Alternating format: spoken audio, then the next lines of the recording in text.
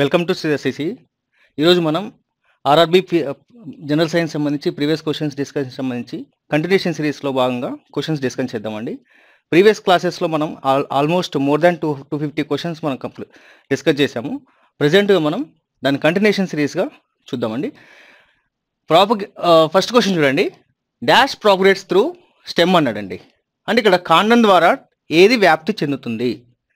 అంటే మనకి ఇది ఈ క్వశ్చన్ అనేది బాటనీకి సంబంధించిన వెజిటేటివ్ ప్రాపగేషన్ అదేవిధంగా సెక్సువల్ ప్రాపగేషన్ అంటారండి. అంటే శాఖీయ ఉత్పత్తి లైంగిక ఉత్పత్తి అనే వాటికి సంబంధించిన క్వశ్చన్ అండి ఇది. ఇందులో కాండం ద్వారా ప్రాపగేషన్ వ్యాప్తి చెందేది ఏది?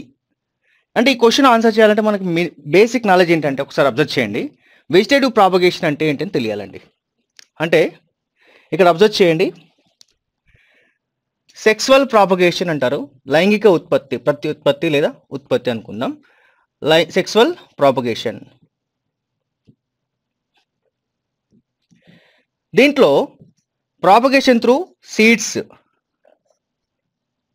ఫ్లవర్ నుంచి ఏర్పడిన సీడ్స్ ద్వారా ప్రాపగేషన్ జరిగితే దాన్ని సెక్సువల్ ప్రాపగేషన్ అంటారు. లైంగిక వ్యాప్తి.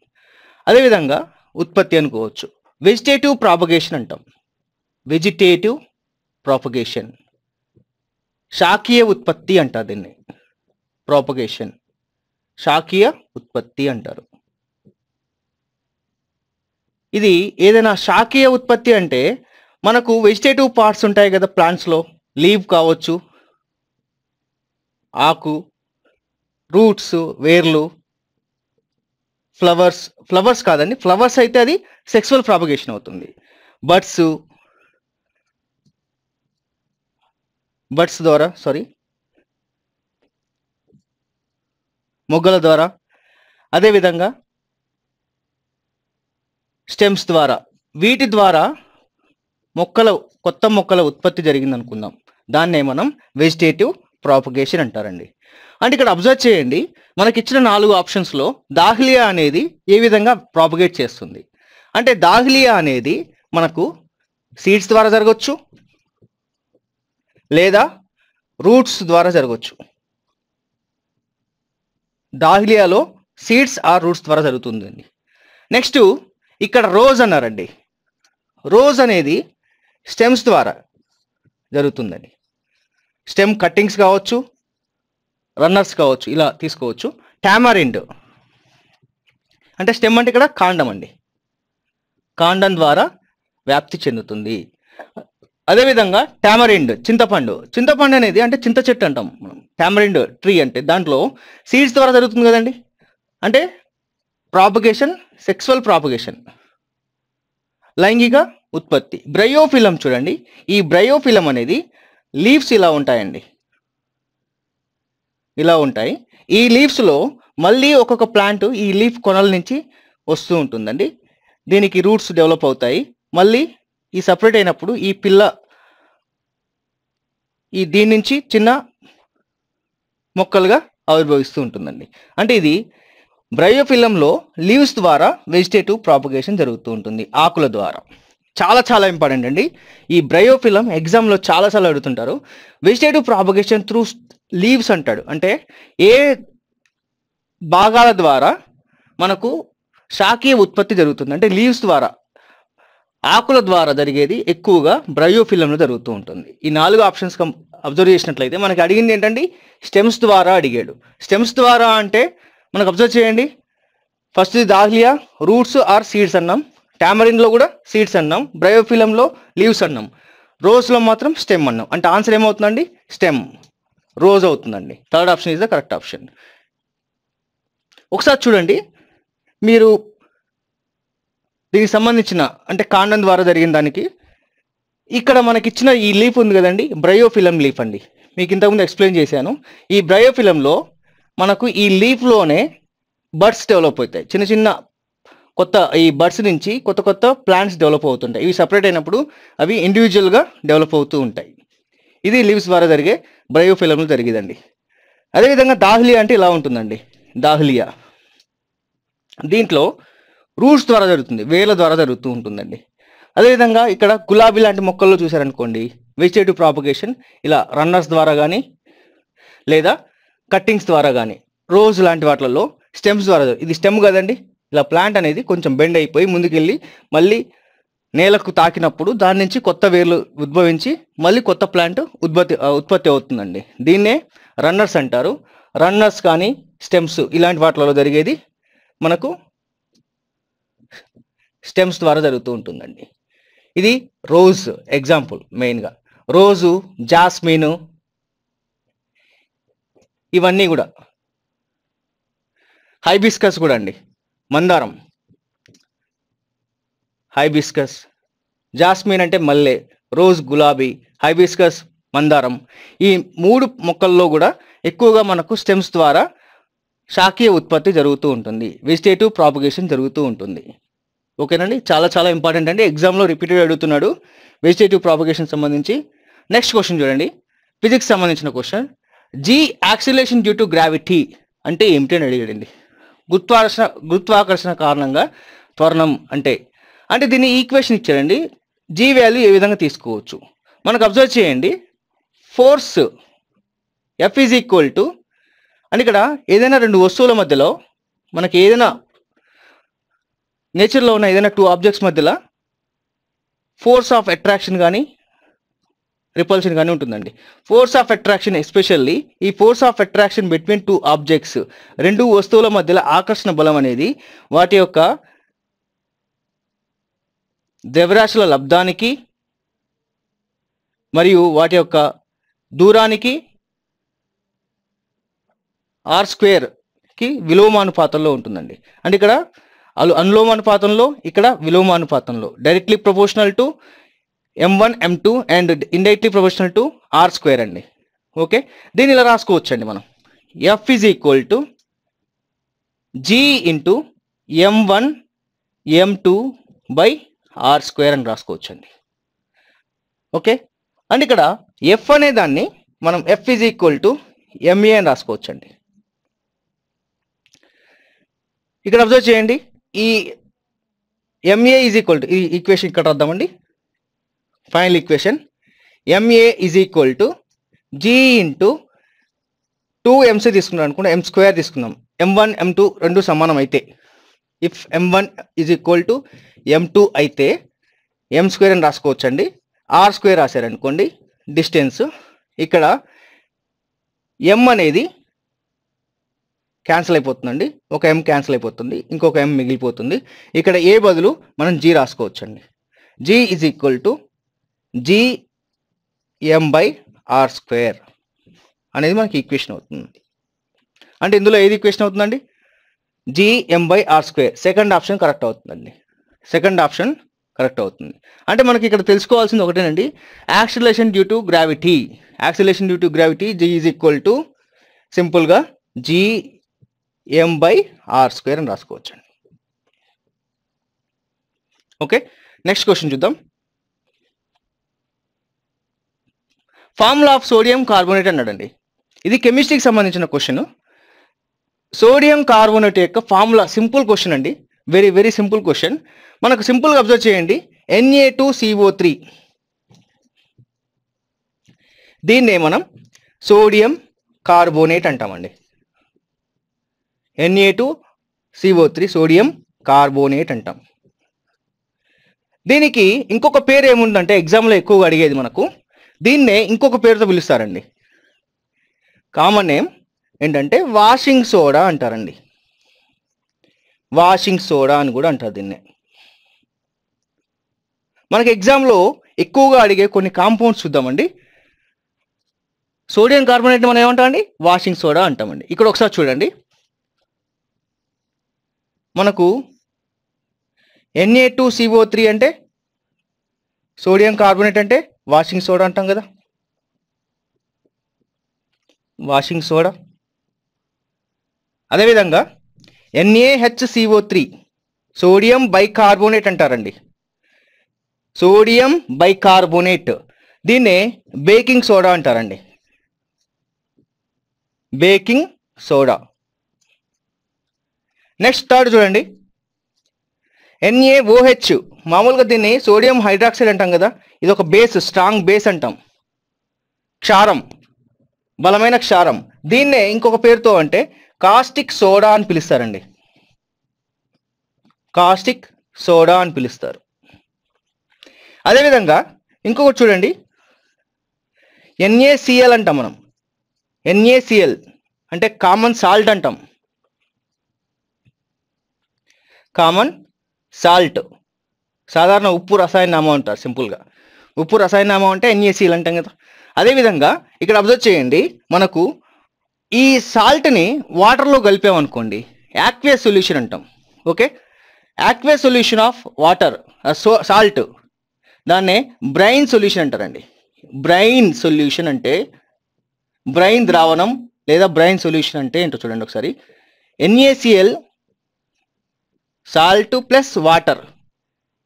దీన్నే మనం బ్రైన్ సొల్యూషన్ అంటారండి. NACL plus water. సాల్ట్ని మనం వాటర్లో కలిపామనుకోండి దాన్ని మనం బ్రైన్ సొల్యూషన్ అంటారండి. చాలా చాలా ఇంపార్టెంట్ అండి. ఇవి ఎగ్జామ్లో ఎక్కువగా అడుగుతున్నాడు. NA two CO three washing soda NAHCO three sodium bicarbonate baking soda NAOH caustic soda అంటాం.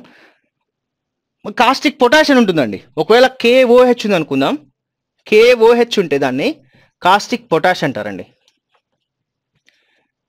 కాస్టిక్ పొటాష్ అంటే కే ఉంటే. అదే సోడియం ఉంటే కాస్టిక్ సోడా అంటాం. ఓకేనండి డిఫరెన్స్ ఇవి ఎక్కువ ఎగ్జామ్లో రిపీట్గా అడిగే కొన్ని జనరల్ కెమికల్ ఫార్ములా సంబంధించిన కామన్ నేమ్స్ అండి ఇవి. నెక్స్ట్ చూడండి. Which of the following is not true for manganese అన్నాడండి మ్యాంగనీస్ ఎలిమెంట్ అనేది దానికి సంబంధించిన ట్రూ స్టే నాట్ ట్రూ అన్నాడండి క్వశ్చన్లో నాట్ ట్రూ అన్నాడు. ఇక్కడ అబ్జర్వ్ చేయండి. మ్యాంగనీస్ యొక్క సింబల్ ఏంటండి? MN capital M small N symbol ఇది. దీని యొక్క ఆటమిక్ నెంబర్ ట్వంటీ ఫైవ్ ఇది ఒక ట్రాన్సిషన్ మెటల్ అండి. పరివర్తన మూలకం అంటారు. ట్రాన్సిషన్ మెటల్ ఇది. ఓకే?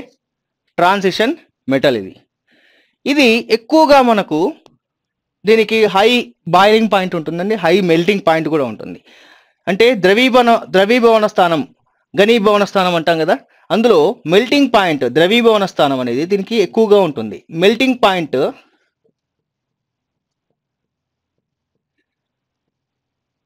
దగ్గర దగ్గరలో ట్వెల్వ్ ఫిఫ్టీ డిగ్రీ సెల్సియస్ వరకు ఉంటుందండి. ఓకే? అంటే చాలా ఎక్కువగా ఉంటుందండి.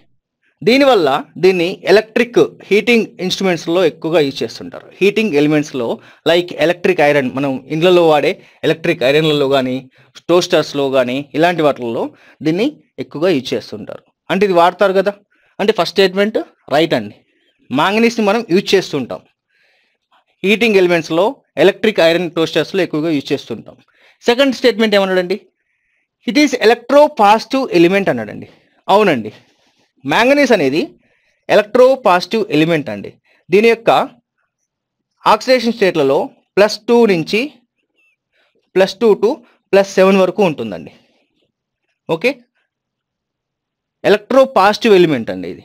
కరెక్టేనండి it effects its resistance at high temperature అన్నాడు.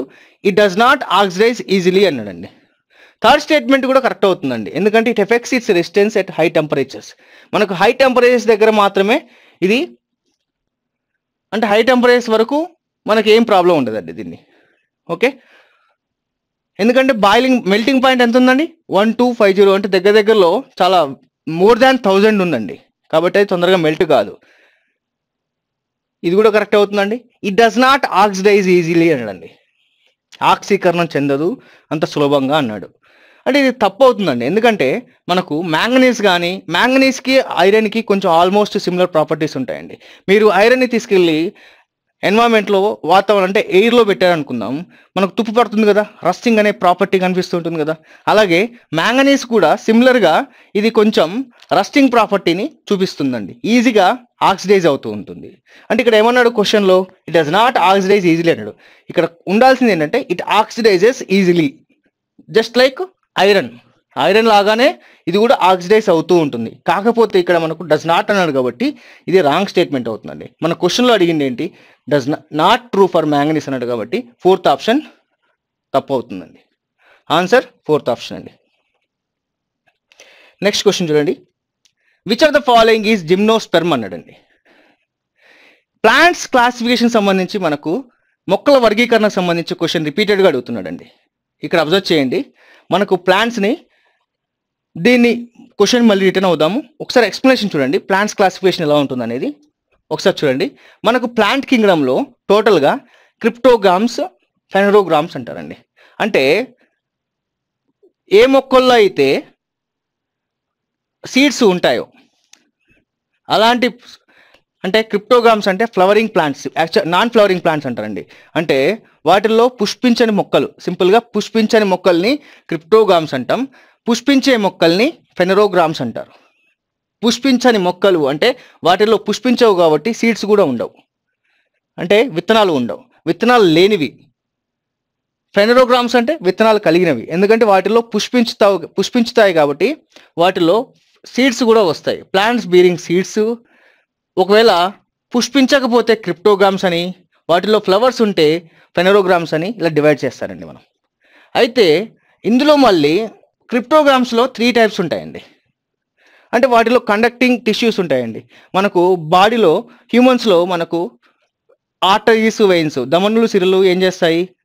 మనకు రక్తాన్ని మొత్తం కూడా అన్ని పార్ట్స్కి సరఫరా చేస్తుంటాయి. వాటినే మనం కండక్టింగ్ వెజల్స్ అంటాం సింపుల్ చెప్పాలంటే. వాస్కులర్ టిష్యూస్ అంటాం. అంటే ఇవి ఏం చేస్తాయి? ఒక ప్లే ఒక ప్లేస్ నుంచి ఇంకో ప్లేస్కి న్యూట్రిషన్ని సప్లై చేస్తూ ఉంటాయి. అదేవిధంగా ప్లాంట్స్లో కూడా మనకు జైలం అండ్ ఫ్లోయం ఉంటాయండి. జైలం అండ్ ఫ్లోయం ఉంటాయి.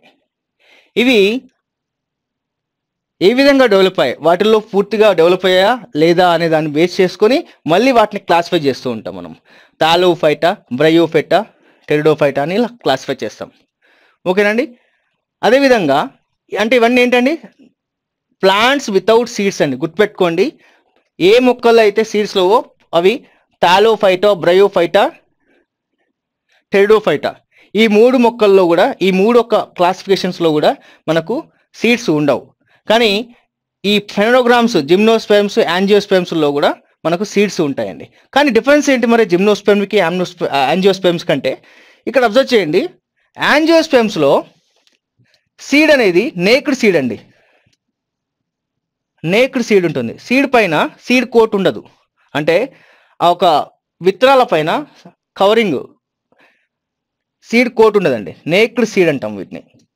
కానీ యాంజియోస్పెమ్స్లో సీడ్ కోట్ ఉంటుందండి. సీడ్ కోట్ ఉంటుంది. ఓకే? మళ్ళీ వాటిని మోనోకార్స్ డైకార్స్ అని మనకంటే ఏకదళ బీజ మొక్కలు అంటాం. ఇది ద్విదళ బీజ మొక్కలు అంటాం. డైకార్స్ అంటే. మోనోకార్స్ అంటే మనకు సింపుల్గా అబ్జర్వ్ చేయండి. వరి తీసుకున్నారనుకోండి. వరి గింజ తీసుకున్నప్పుడు మనకు దాంట్లో రెండు ఫలకాలు కనిపించవు. అదే పల్లి కానీ లేదా ఏదన్నా సీడ్ తీసుకున్నాం. ఫర్ ఎగ్జాంపుల్ మ్యాంగో లాంటివి. మ్యాంగో తీసుకున్నా కూడా మీరు దాంట్లో జీడి తీసారనుకోండి రెండు పార్ట్స్గా సపరేట్ చేయొచ్చు మళ్ళీ డివైడ్ చేయగలచ్చు. అలా కాకుండా రైస్ తీసుకున్నారనుకోండి రైస్ అనేది ఇలాగే ఇలాగే ఉంటుంది. దీన్ని మళ్ళీ టూ పార్ట్స్గా సపరేట్ చేయలేం. అలా వాటిని మోనోకార్స్ అంటాం.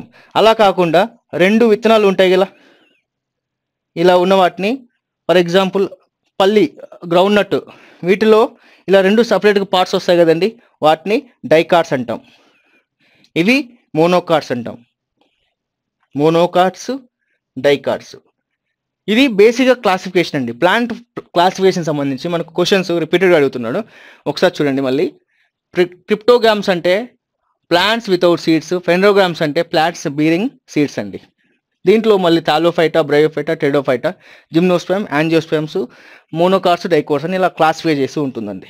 ఇక్కడ మళ్ళీ చూడండి డీటెయిల్గా మళ్ళీ ప్లాంట్స్లో నేను చెప్పా కదా గ్జైలము ఫ్లోయం అనేది మనకు కండక్టింగ్ టిష్యూస్ ఉంటాయండి. Xylem phloem. మనకు మానవుల్లో బ్లడ్ వెజల్స్ అంటే దమనులు సిరలు ఎలా ఉంటాయో ఆహారాన్ని కానీ నీటిని కానీ మనకు బ్లడ్ని తీసుకుపోవడం కోసం ఎలా ఉంటాయో ప్లాంట్స్లో కూడా జైలం ఫ్లోయం అనేవి కండక్టింగ్ టిష్యూస్ అండి. ఇవి ఎలా డెవలప్ అయ్యాయి? పూర్తిగా డెవలప్ అయ్యాయా? లేదా పూర్తిగా డెవలప్ కాలేదా? దాన్ని బేస్ చేసుకొని మళ్ళీ ప్లాంట్స్ని క్లాసిఫై చేస్తూ ఉంటాం. ఇక్కడ అబ్జర్వ్ చేయండి. తాలో ఫైటాలో plant body is not differentiated అండి అంటే దాని మీనింగ్ ఏంటంటే ఈ తాలోఫైటా మొక్కల్లో పూర్తిగా లీవ్స్ కానీ ఫ్లవర్స్ కానీ స్టెమ్స్ కానీ రూట్స్ కానీ ఇలా రకరకాలుగా మనం డివైడ్ చేస్తే దాన్ని డిఫరెన్షియేషన్ అంటాం. కానీ తాలో ఫైటాలో ఈ డిఫరెన్షియేషన్ కనిపించదండి. అంటే చూస్తే మనకు ఏది ఫ్లవర్ దాంట్లో ఫ్లవర్ ఏంటి? అసలు యాక్చువల్ చెప్పాలంటే ఫ్లవర్ ఫ్లవర్ ఉండదండి. దీంట్లో నాన్ ఫ్లవరింగ్ ఇవి. లీవ్స్ స్టెమ్స్ రూట్స్ ఇవి సపరేట్ సపరేట్గా డిఫరెన్షియేట్ చేయలేము మనం. దాన్నే తాలో ఫైటా అంటారు. అంటే plant body is not well differentiated అన్నాడు. అంటే లీవ్స్ స్టెమ్స్ రూట్స్ ఇలా పార్ట్స్ పార్ట్స్గా డివైడ్ చేయలేము ఆ ప్లాంట్ని ఓకే? అది తాలోఫైటా కిందకి వస్తుందండి. ఒకవేళ ఇక్కడ అబ్జర్వ్ చేయండి. Plants do not possess vascular tissue. ఒకవేళ ప్లాంట్స్ ప్లాంట్స్లో లీవ్స్ కానీ స్టెమ్స్ కానీ రూట్స్ కానీ ఉన్నా కూడా దాంట్లో జైలం ఫ్లోయం లేకుంటే అది బ్రయోఫైటా కింద క్లాసిఫై చేయొచ్చు. ఓకేనండి plants possess vascular tissues xylem and phloem అన్నాడండి. అంటే ఇక్కడ జైలము ఫ్లోయము రెండూ ఉంటాయి. అలా ఉంటే ప్లాంట్స్లో టెరిడోఫైటాలో తీసుకోవచ్చు ఎగ్జాంపుల్గా plants do not produce seeds అన్నాడు. మిగతా చూసాం కదండి సీడ్స్ ఉండవు కదా టెరిడోఫైటాలో మళ్ళీ ప్లాంట్స్ ప్రొడ్యూస్ సీడ్స్ సీడ్స్ని ఉత్పత్తి చేసేవి. యాంజియోస్పెమ్స్ జిమ్నోస్పెమ్స్ ప్లాంట్స్లో ఒకవేళ సీడ్ కోట్ లేకుండా నేకుడుగా ఉంటుంది జిమ్నోస్పెర్ము జిమ్నోస్పె అలా కాకుండా సీడ్ కోట్ ఉంటే ఫ్రూట్స్ లోపల ఉంటే దాన్ని యాంజియోస్పెమ్స్ అంటాం. ఇది బేసిక్ క్లాసిఫికేషన్ సంబంధించిందండి ఇక్కడ క్వశ్చన్ చూద్దాం పడండి which of the following is gymnosperm అన్నాడండి? అంటే ఇక్కడ అబ్జర్వ్ చేయండి. మనకు ఫెర్న్స్ పైన్స్ మ్యాంగో మాస్ ఇవన్నీ అడగండి ఇందులో ఫెర్న్ అనేది ఇది డిఫరెంట్ ప్లాంట్ అండి. ఇది సపరేట్ క్లాసిఫికేషన్ కిందకి వస్తుంది. ఈ పైన్స్ ఉంది కదండి. ఈ పైన్స్నే మనం కోనిఫర్స్ అంటారండి. కోనిఫర్స్ అంటారు. కోనిఫర్స్. అంటే మనకు మొక్కలు అబ్జర్వ్ చేస్తే ఇలా కొన్ని చోట్లలో ఇలా ఉంటాయి. అంటే కోన్ షేప్లో ఉంటుంది ప్లాంట్. ఇలాంటి ప్లాంట్స్లో మనం కోనిఫర్స్ లేదా పైన్స్ అంటాం. ఓకే? ముళ్ళు కూడా కొన్ని కనిపిస్తూ ఉంటాయి. ఇలాంటి ప్లాంట్స్ని మనం జిమ్నోస్పెమ్స్ కింద క్లాసిఫై చేయొచ్చండి. మ్యాంగో అనేది ఏంటండి? యాంజియోస్పెమ్ కదా? యాంజియోస్పెమ్ మామిడి చెట్టు అనేది యాంజియోస్పెమ్ అండి. యాంజియో స్పెర్మ్ అందులో ఇది మళ్ళీ డైకాటిలెడాన్స్ అంటాం మనం. అంటే మ్యాంగో ఫ్రూట్ తీసుకున్నప్పుడు మనకు టూ ఇలా డివైడ్ చేయొచ్చు మనం. లోపల జీడి ఉంటుంది కదా దాన్ని టూ పార్ట్స్గా డివైడ్ చేయొచ్చు. అలాంటి వాటిని డైకాట్స్ అంటాం. నాచు మాస్. మాస్ అనేది థాలోఫైటా కిందకి వస్తుందండి. తాలోఫైటా కిందకి వస్తుంది. ఆల్గే ఇలా అంటారు కదా అవి తాలోఫైటా కిందకి వస్తుందండి. ఇక్కడ అబ్జర్వ్ చేస్తే జిమ్నోస్పెమ్ అనేవి వేటికి సంబంధించినవి అంటే ఇక్కడ పైన్స్ అనేవి వీటిలో ఫ్రూట్స్ ఉంటాయండి. ఈ ఫ్రూట్స్కి నేకిడ్ సీడ్స్ ఉంటాయండి. నేకిడ్ సీడ్స్ ఉంటాయి. పైన్స్. ఒకవేళ మీకు ఆప్షన్స్లో కోనిఫర్సర్ ఇచ్చారనుకోండి అది కూడా ఆన్సర్ అవుతుందండి. పైన్స్ అని ఇచ్చినా కోనిఫాస్ అని ఇచ్చినా ఏదైనా కూడా రెండిట్లలో మనకు జెన్మోస్పెర్మ్ అని గుర్తుపెట్టుకోవాలండి. నెక్స్ట్ క్వశ్చన్ చూడండి. A car falls from exhaustive part and falls to the ground in one second what is its speed to hit the ground అండి అంటే ఫిజిక్స్లో మనకు ఈక్వేషన్స్ ఆఫ్ మోషన్ సంబంధించిన క్వశ్చన్ అండి ఇది. ఈక్వేషన్స్ ఆఫ్ మోషన్స్లో మనకు ఒక ఈక్వేషన్ ఇలా ఉంటుందండి. V is equal to U plus AT ఇక్కడ అబ్జర్వ్ చేయండి. ఈ ఈక్వేషన్ ఎందుకు వాడాలంటే మనకి ఎందుకు ఏమి ఇచ్చాడని ఇక్కడ టైం ఇచ్చాడు. అదేవిధంగా gravitation due to acceleration due to gravity G value ఇచ్చాడు. పైనుంచి కింద పడుతుందన్నాడు. అంటే ఇనిషియల్గా స్పీడ్ అనేది జీరో అవుతుంది. ఇనిషియల్ స్పీడ్ జీరో అవుతుంది. మనకు జీ వాల్యూ టెన్ అవుతుంది. టైం ఎంత అవుతుందండి? వన్ సెకండ్ అవుతుంది. ఈక్వేషన్స్లో సబ్స్టిట్యూట్ చేసామనుకోండి V is equal to zero plus ten into one V is equal to ten meter per second అవుతుందా? ఇది చూడండి. ఇక్కడ అబ్జర్వ్ చేయండి టెన్ టూ ఆప్షన్స్లో ఉంది. కానీ ఒక ఆప్షన్స్లో మీటర్ పర్ సెకండ్ స్క్వేర్ ఉందండి. మీటర్ పర్ సెకండ్ స్క్వేర్ అంటే ఇది యాక్సిలేషన్కి యూనిట్ అండి ఇది. ఇది యాక్సిలేషన్ ఎప్పుడు కూడా మనం త్వరణాన్ని మనం మీటర్ పర్ సెకండ్స్లో కొలుస్తాం. కానీ ఇక్కడ అడిగింది ఏంటి? స్పీడ్ అడిగాడు. స్పీడ్కి యూనిట్స్ ఏంటండి? Meter per second meter per second ఇది కరెక్ట్ ఆన్సర్ అవుతుందండి. మనకు టెన్ మీటర్ పర్ సెకండ్ అవుతుందండి. స్పీడ్ అడిగాడు కాబట్టి. అంటే రెండు ఆప్షన్స్లో కూడా టెన్ ఉంది. కాబట్టి మనం యూనిట్స్ని బట్టి ఆన్సర్ చూస్ చేయాల్సి ఉంటుంది. డోంట్ కన్ఫ్యూజ్ అండి. ఇక్కడ ఫిజిక్స్లో చాలా క్వశ్చన్స్లో మనకు ఎక్కువగా యూనిట్స్ని బట్టి ఆప్షన్స్ ఎలిమినేట్ చేయొచ్చండి. ఇది ఒక్క పాయింట్ గుర్తుపెట్టుకోండి. చాలా వరకు సేమ్ ఆప్షన్స్ ఇవ్వచ్చు కానీ యూనిట్స్ డిఫరెంట్గా ఇవ్వచ్చు. Next question dash is a specific of phytochrome అన్నాడండి. ఫైటోక్రోమ్స్ అనేవి దేనికి సంబంధించినవి? ఇక్కడ అబ్జర్వ్ చేయండి. ఫైటోక్రోమ్స్ అనేవి ప్లాంట్స్లో పిగ్మెంట్ అండి. ప్లాంట్ పిగ్మెంట్స్ అంటారు. Phytochromes are nothing but plant pigments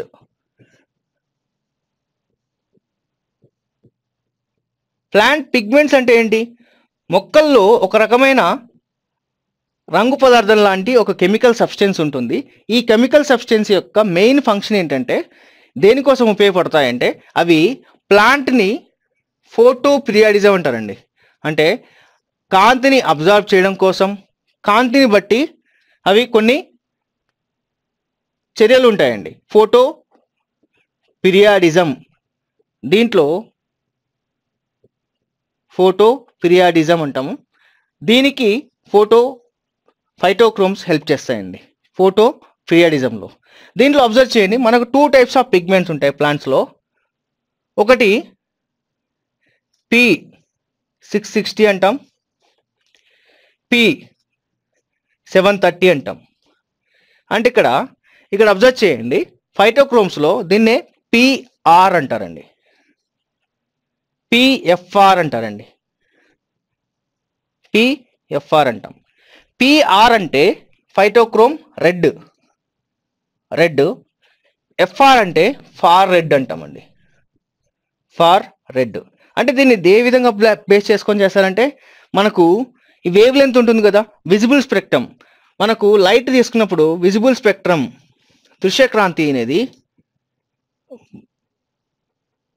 wavelength base చేసుకున్నప్పుడు మనకు యాక్చువల్ చెప్పాలంటే విజిబుల్ స్పెక్ట్రమ్ అనేది ఎక్కడి నుంచి ఎంతవరకు ఉంటుందండి? ఇక్కడ ప్లాన్స్లో చూసామని లైట్లో చూసామనుకోండి యూవి రేస్ తర్వాతకి మనకు విజిబుల్ రేస్ వస్తాయి. విజిబుల్ రేస్ తర్వాతకి ఇన్ఫ్రారెడ్ రేస్ వస్తాయి. Infrared. ఈ రెండింటి మధ్యలో మనకు విజిబుల్ స్పెక్ట్రమ్ ఉంటుందండి. అంటే విజిబుల్ స్పెక్ట్రమ్ యొక్క రేంజ్ ఎంత అంటే ఫోర్ హండ్రెడ్ నానోమీటర్స్ అప్రాక్సిమేట్లీ అండి ఇది. ఫోర్ హండ్రెడ్ నానోమీటర్స్ నుంచి సెవెన్ హండ్రెడ్ నానోమీటర్స్ మధ్యలో అప్రాక్సిమేట్లీ అండి ఇది. సెవెన్ హండ్రెడ్ నానోమీటర్స్ మధ్యలో మనకు విజిబుల్ స్పెక్ట్రమ్ ఉంటుంది. ఇందులో రెడ్ లైట్ అనేది విబ్జిఆర్ అంటాం కదా. విబ్జిఆర్ విబ్జిఆర్లో రెడ్ లైట్ లాస్ట్లో ఉంటుంది. చూడండి. ఈ రెడ్ లైట్ యొక్క ఫ్రీక్వెన్సీ అనేది సిక్స్ సిక్స్టీ నుంచి ఇలా తీసుకున్నప్పుడు more than frequency wavelength పెరిగే కొద్దీ ఫార్ రెడ్ అంటాం. సెవెన్ థర్టీ అనుకుందాం ఫర్ ఎగ్జాంపుల్. ఫార్ రెడ్ రెడ్కు దూరంగా అన్నట్టు. Far red. ఇలా ఉన్నప్పుడు ప్లాంట్స్లో ఈ వేవ్ లెంత్ దగ్గర ఇక్కడ అబ్జర్వ్ చేయండి. P six sixty P seven thirty. ఈ రెండింటిని మనం ఫైటోక్రోమ్స్లో ప్లాంట్స్లో ఉన్న రెండు రకాల ఫైటోక్రోమ్స్ ఇది పిఆర్ అంటాం. పి రెడ్ ఫైటోక్రోమ్ రెడ్ ఇది ఎఫ్ఆర్ అంటాం. ఫార్ రెడ్ ఎప్పుడైనా ప్లాంట్ అనేది మనకు వేవ్ లెంత్ మనకు వాతావరణంలో పరిస్థితులు అనుకూలంగా ఉన్నప్పుడు మనం ఒకలాగా స్పందిస్తాం. అదే విధంగా ప్లాంట్ కూడా ఒకే ఒకలాగా స్పందిస్తూ ఉంటుంది. అంటే బయట సరైన మోతాదులో లైట్ ఉన్నప్పుడు వాటర్ ఉన్నప్పుడు ఆక్సిజన్ అవైలబుల్ ఉన్నప్పుడు ప్లాంట్స్ అనేది ఎప్పుడు కూడా ఎదగడానికి చూస్తాయి. అంటే గ్రోత్ కావడం కోసం ఎక్కువ ఫేవరబుల్ కండిషన్స్ చూస్తాయి. అలా చూసినప్పుడు ఈ లైట్ ఫేవరబుల్గా ఉన్నప్పుడు అంటే మనకు ఎప్పుడైనా సిక్స్ సిక్స్టీ నానోమీటర్స్ రెడ్ రీజియన్లో ఉన్న లైట్ ఎక్కువ ఫోటో లైట్ని అబ్జర్వ్ చేస్తుంది ఫోటో సింథసిస్ చేసుకుంటుంది కిరంజని సంయోక్రియ జరుపుకొని దాని నుంచి మొక్క ఎక్కువ పెరగడానికి ట్రై చేస్తుంది. అంటే లైక్ కొత్తగా లీవ్స్ ఫామ్ కావడం రూట్స్ ఫామ్ కావడం బడ్స్ ఫామ్ కావడం ఇవన్నీ కూడా మొక్కలు జరుగుతూ ఉంటాయండి. అంటే ఎప్పుడైతే లైట్ ఇలా అబ్జర్వ్ చేయండి. ఈ రేంజ్లో ఉన్నప్పుడు ప్లాంట్స్లో ఎక్కువగా plant shows response phyto photo response అనుకోవచ్చు. Photo response. అలా కాకుండా అంటే ఇది పాజిటివ్గా ప్లాంట్ గొరు పె- పెరుగుతూ ఉంటుందండి. కానీ ఒకవేళ పి సెవెన్ థర్టీ అనుకుందాం. అంటే వేవ్ లెంత్ పెరిగింది అనుకోండి ఆ వేవ్ లెంత్ లైట్లో ఉన్న వేవ్ లెంత్ పెరిగితే ప్లాంట్ అనేది గ్రోత్ అనేది తగ్గిపోతూ ఉంటుందండి. ఫార్ రెడ్ ఓకే అంటే ఆ పిగ్మెంట్స్ అనేవి చేంజ్ అవుతాయి. ఆ గ్రోత్ని ఇన్హిబిట్ చేయడం కానీ గ్రో గ్రోత్ని ప్రమోట్ చేయడం కానీ అనేది జరుగుతూ ఉంటుంది. ఇది P six sixty P seven thirty అంటే ఇక్కడ అబ్జర్వ్ చేయండి dash is a specific phyto specific of phytochrome అంటే రెండు ఉన్నాయండి. ఇక్కడ సిక్స్ సిక్స్టీ ఉంది సెవెన్ థర్టీ ఉంది. కానీ ప్లాంట్స్కి ఎక్కువగా అవసరమైనవి six sixty P six sixty అవసరం అండి అంటే ఈ ఈ ఫ్రీ వేవ్ లెంత్లో ప్లాంట్ ఎక్కువగా గ్రోత్ ఈ ప్రమోట్స్ గ్రోత్ అండి. ప్రమోట్స్ గ్రోత్ ప్రమోట్స్ అంటే ఇక్కడ ఫోటో పిరియడిజం ఈ లైట్ని అబ్జర్వ్ చేసుకొని ప్లాంట్లో స్టెమ్స్ ఎలాంగేషన్ స్టెమ్ ఎలాంగేషన్ అంటాం. అంటే కాండం అభివృద్ధి చెందుతుంది పొడవుగా పెరుగుతూ ఉంటుంది. బ్రాంచ్ ఫార్మేషన్ కొత్త కొత్త బ్రాంచెస్ ఫామ్ అవుతాయి. అదేవిధంగా లీవ్స్ ఫామ్ అవుతాయి బర్డ్స్ ఫామ్ అవుతాయి. ఇవన్నీ కూడా ప్లాంట్స్కి డెవలప్ కావ డెవలప్మెంట్ కావడం కోసం హెల్ప్ చేస్తూ ఉంటాయి. అండ్ ఇక్కడ మనకు ఆన్సర్ ఏమవుతుందండి? పి సిక్స్ సిక్స్టీ అండి. జస్ట్ గుర్తుపెట్టుకోవాల్సింది ఒకటేనండి. మనకు ప్లాంట్స్లో ఫైటోక్రోమ్స్ అనేవి లైట్లో ఉన్న కాంతిని అబ్జర్వ్ చేసి ఆ వేవ్ లెంత్కి తగ్గట్టు ప్లాంట్ యొక్క రెస్పాన్స్ చూపిస్తూ ఉంటుంది. అందులో టూ టైప్స్ ఆఫ్ ఫైటోక్రోమ్స్ ఉన్నాయి. ఒకటి P six sixty P seven thirty ఈ రెండింటి కూడా పిఎఫ్ఆర్ పిఆర్ అంటాం. ఇలా చూసినప్పుడు ఈ పి సిక్స్ సిక్స్టీ అనేది ప్లాంట్ని గ్రోత్ని ప్రమోట్ చేస్తూ ఉంటుంది. ఆన్సర్ ఇక్కడ థర్డ్ ఆప్షన్ అవుతుందండి. నెక్స్ట్ క్వశ్చన్ చూడండి. PH measures hydrogen ion dilution in any solution here P stands అన్నాడండి. అంటే ఇక్కడ సింపుల్గా అబ్జర్వ్ చేయండి. మనకు పిహెచ్ స్కేల్ ఉంటుంది కదండి. PH scale. దీంట్లో పిహెచ్ అనే రెండు టర్మ్స్ ఉన్నాయి. ఇందులో హెచ్ అంటే హైడ్రోజన్ అయాన్ కాన్సన్ట్రేషన్ అని మనకు తెలుసు. హైడ్రోజన్ అయాన్ యొక్క గాఢతని మనం హెచ్ అని రిప్రజెంట్ చేస్తాం. కానీ ఇక్కడ పి అంటే ఏంటి అనేది క్వశ్చన్ అండి. ఎక్కువసార్లు అడుగుతుంటాడు ఎగ్జామ్లో. పి అంటే ఇక్కడ పొటెన్స్ పొటెన్స్ అంటారండి. పొటెన్స్ ఓకే అయితే ఇక్కడ దీన్ని పిహెచ్ఎస్ స్కేల్ని ఎవరు కనిపెట్టారండి? Sorensen PHS scale was discovered by Sorensen అనే ఒక సైంటిస్ట్ కనిపెట్టాడండి. సోరెన్ సేన్ అదేవిధంగా పిహెచ్ని ఈ విధంగా డిసైడ్ డిఫైన్ చేయొచ్చండి. PH is nothing but negative logarithm of hydrogen ion concentration అంటారండి. PH is nothing but negative logarithm of hydrogen ion concentration ఇక్కడ లాగ్ ఎందుకు తీసుకున్నారు? ఫర్ ఎగ్జాంపుల్ అబ్జర్వ్ చేయండి. మనకు hydrogen ion concentration hydrogen ion concentration for example ten power minus three ఉందనుకుందాం. Ten power minus three ఉందనుకుందాం. And ఇక్కడ pH ఏ విధంగా అనుకోవచ్చు? PH is equal to minus log ten power minus three తీసుకుందాం. అప్పుడు ఏమవుతుందండి ఈ minus three minus three three log ten అవుతుందండి. లాగ్ టెన్ అంటే వనే కదా? అంటే pH is equal to three అవుతుంది. అంటే త్రీ అంటే ఎస్డికి అవుతుంది. ఏసిడికి అవుతుంది. అంటే హైడ్రోజన్ అయాన్ కాన్సన్ట్రేషన్ ఒకవేళ టెన్ పవర్ మైనస్ త్రీ ఉంటే అప్పుడు పిహెచ్ ఎంత అవుతుందండి? త్రీ అవుతుంది. ఓకేనా ఎస్డికి అవుతుంది. సింపుల్ అండి వెరీ వెరీ సింపుల్ ఇది. దీన్నే పిహెచ్ స్కేల్ అంటారండి. హైడ్రోజన్ అయాన్ కాన్సన్ట్రేషన్ బేస్ చేసుకొని మనం పిహెచ్ని డిటర్మైన్ చేస్తాం. నెక్స్ట్ క్వశ్చన్ చూడండి. Ninth question saliva contains dash enzyme అన్నాడండి. ఇది బయాలజీ సంబంధించిన క్వశ్చన్ సెలైవా లాలాజలంలో ఏ ఎంజైమ్ ఉంటుందని అడిగాడు. ఇక్కడ అబ్జర్వ్ చేయండి మనకు హ్యూమన్ డైజెస్టివ్ సిస్టంలో ఫుడ్ తీసుకున్నప్పుడు మనకు మౌత్లో ఈ టీత్ ఇవన్నీ కూడా కలిపి చూయింగ్ చేసినప్పుడు ఫుడ్ పార్టికల్స్ అన్ని కూడా చిన్న చిన్న పార్టికల్స్ కన్వర్ట్ అయినప్పుడు ఆ సెలైవ సెలైవ అనేది మనకు three tie three pairs of saliva glands ఉంటాయండి. త్రీ పేర్స్ ఆఫ్ మూడు జతల లాలాజల గ్రంథులు ఉంటాయి. Three pairs of saliva glands salivary glands ఉంటాయి. లాలాజల గ్రంథులు అంటారు. ఓకేనండి మనకి ఎగ్జామ్లో కూడా అడిగారండి ఇది కూడా. మనకు టోటల్గా ఎన్ని పెయిర్స్ ఆఫ్ సెలవరీ గ్లాండ్స్ ఉంటాయి అంటాడు. అంటే three pairs of salivary glands అవి ఏంటి అని కూడా అడగచ్చు కొన్నిసార్లు. ఒకసారి చూడండి. Submaxillary sub maxillary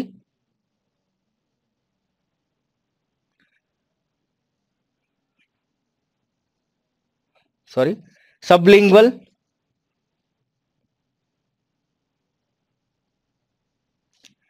నెక్స్ట్ది parotid. ఈ పెరోటిడ్ పెరోటిడ్ గ్లాండ్స్ అంటాం. Parotid glands. ఈ మూడు కూడా మనకు సెలవరీ గ్లాండ్స్ అండి. లాలాజల గ్రంథులు. సబ్మాక్సిలరీ సబ్లింగ్వల్ అదో జివ్వక అంటారు. అదో జివ్వక అంటే నాలుక కింద ఉండేది సబ్లింగ్వల్. పెరోటిడ్ గ్లాండ్స్ అంటే మనకు చెంపల దౌడకు ఇలా ఇటువైపు ఇటువైపు ఉంటాయండి. చిన్నప్పుడు మనకు గౌద బిల్లలు అంటాం. ఒక పారామిక్స్ పెరోటైడిస్ అనే ఒక వైరస్ వల్ల ఈ సెలవరీ గ్లాండ్స్ స్వెల్ అయినప్పుడు మనకు నొప్పి లేస్తుంది. ఇటువైపు బాగా ఉబ్బుతే ఉబ్బుతుందండి. దీనివల్ల నొప్పి లేస్తుంది. దాన్నే మనం గౌద బిల్లలు చెంపగడ్డలు అంటారు కదా దాన్నే పెరోటిడ్ గ్లాండ్స్ వల్ల వస్తుంది. ఓకేనండి ఇక్కడ మనం సెలైవా గురించి డిస్కస్ చేస్తున్నాము. అంటే సెలైవరీ గ్లాండ్స్ అనేవి సెలైవాని ప్రొడ్యూస్ చేస్తాయి. ఆ సెలైవరీ గ్లాండ్స్ అనేవి త్రీ టైప్స్ ఉంటాయి. Submaxillary sublingual parotid glands. ఈ పెరోటిడ్ గ్లాండ్స్ స్వెల్లింగ్ వల్ల వచ్చేదాన్ని మనం గౌదబిల్లలు దాన్నే మంప్స్ అంటారండి. మంప్స్ ఇంగ్లీష్లో మంప్స్ అంటారు. ఓకేనా? ఇది three pairs of salivary glands ఉన్నాయి. అంటే ఈ సెలైవా అనేది ఆ ఫుడ్తో మిక్స్ అయినప్పుడు ఆ ఫుడ్తో మిక్స్ అయిన పార్షల్గా డైజెస్ట్ అయిన ఫుడ్ని మనం మౌత్లో మౌత్లో మనకు పార్షల్గా ఒక ముద్దలాగా సెలవుతో కలిసి లాలజలంతో కలిసి ఒక ముద్దలాగా ఫామ్ అయిన ఫుడ్ని మనం బోలస్ అంటారండి. బోలస్ అంటాం.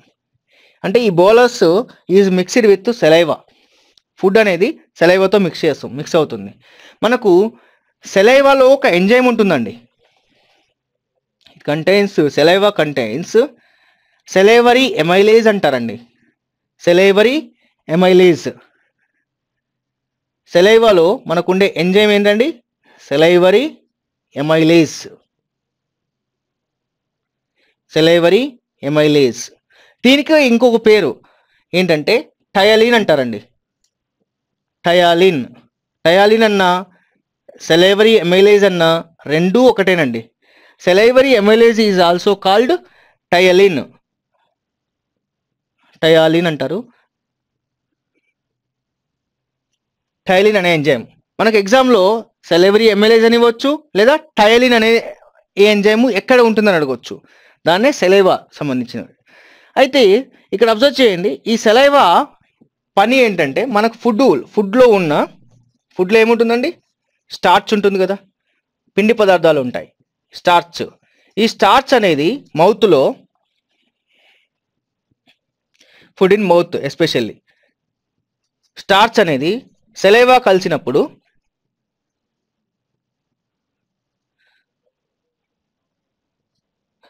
డైజెస్ట్ చేస్తూ ఉంటుందండి. చిన్న చిన్న పిండి పదార్థాలాగా మళ్ళీ వాటిని స్టార్చ్ అనేది పెద్ద పెద్ద కాంప్లెక్స్ మాలిక్యూల్స్ అండి. వాటిని డైజెస్ట్ చేసి చిన్న చిన్న మాలిక్యూల్స్ లాగా డెక్స్ట్రోజ్ అంటాం.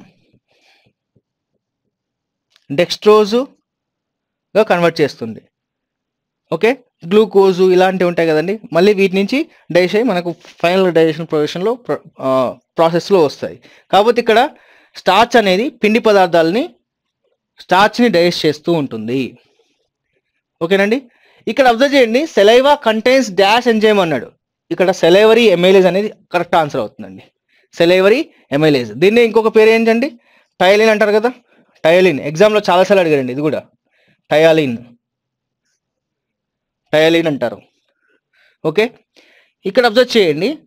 మనకు ఇంకా ఎగ్జామ్లో దీనికి సంబంధించిన క్వశ్చన్స్ సెలైవాకి సంబంధించి కానీ ఇలాంటి దీనికి ఈ కాన్సెప్ట్ సంబంధించిన క్వశ్చన్స్ ఒకసారి చూడండి.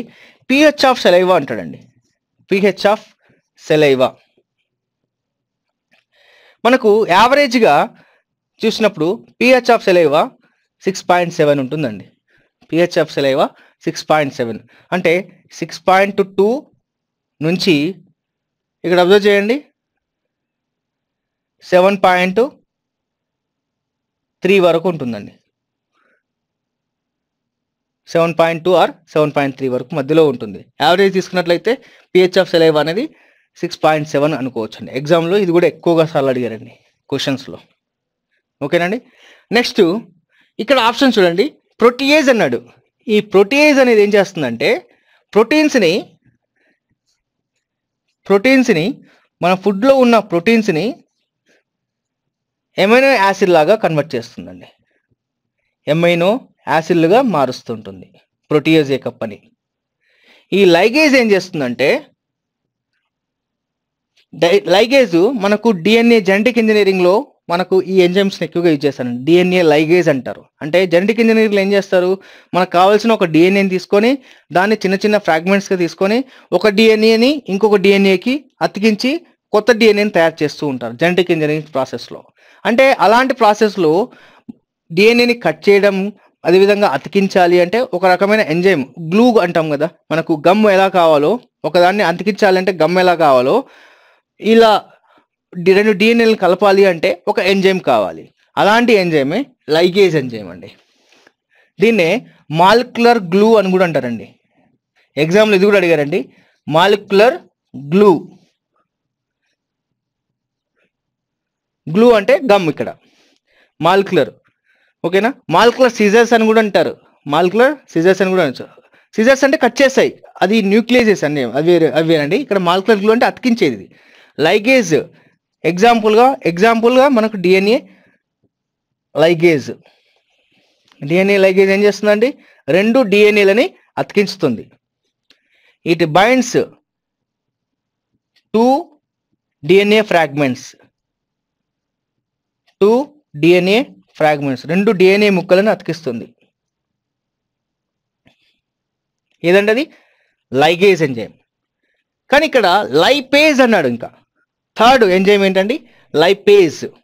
లైపేజ్ అంటే లిపిడ్స్ ఉంటాయి కదా మనం తీసుకునే ఫుడ్లో లిపిడ్స్ కొవ్వు పదార్థాలు. ఈ లిపిడ్స్ని ఫ్యాటీ యాసిడ్స్ ప్లస్ అండ్ గ్లిజరాల్గా మారుస్తుందండి. ప్లస్ గ్లిజరాల్గా మనకు ఈ ఎంజైమ్ మారుస్తుంది. ఎంజైమ్ అండి? Lipase.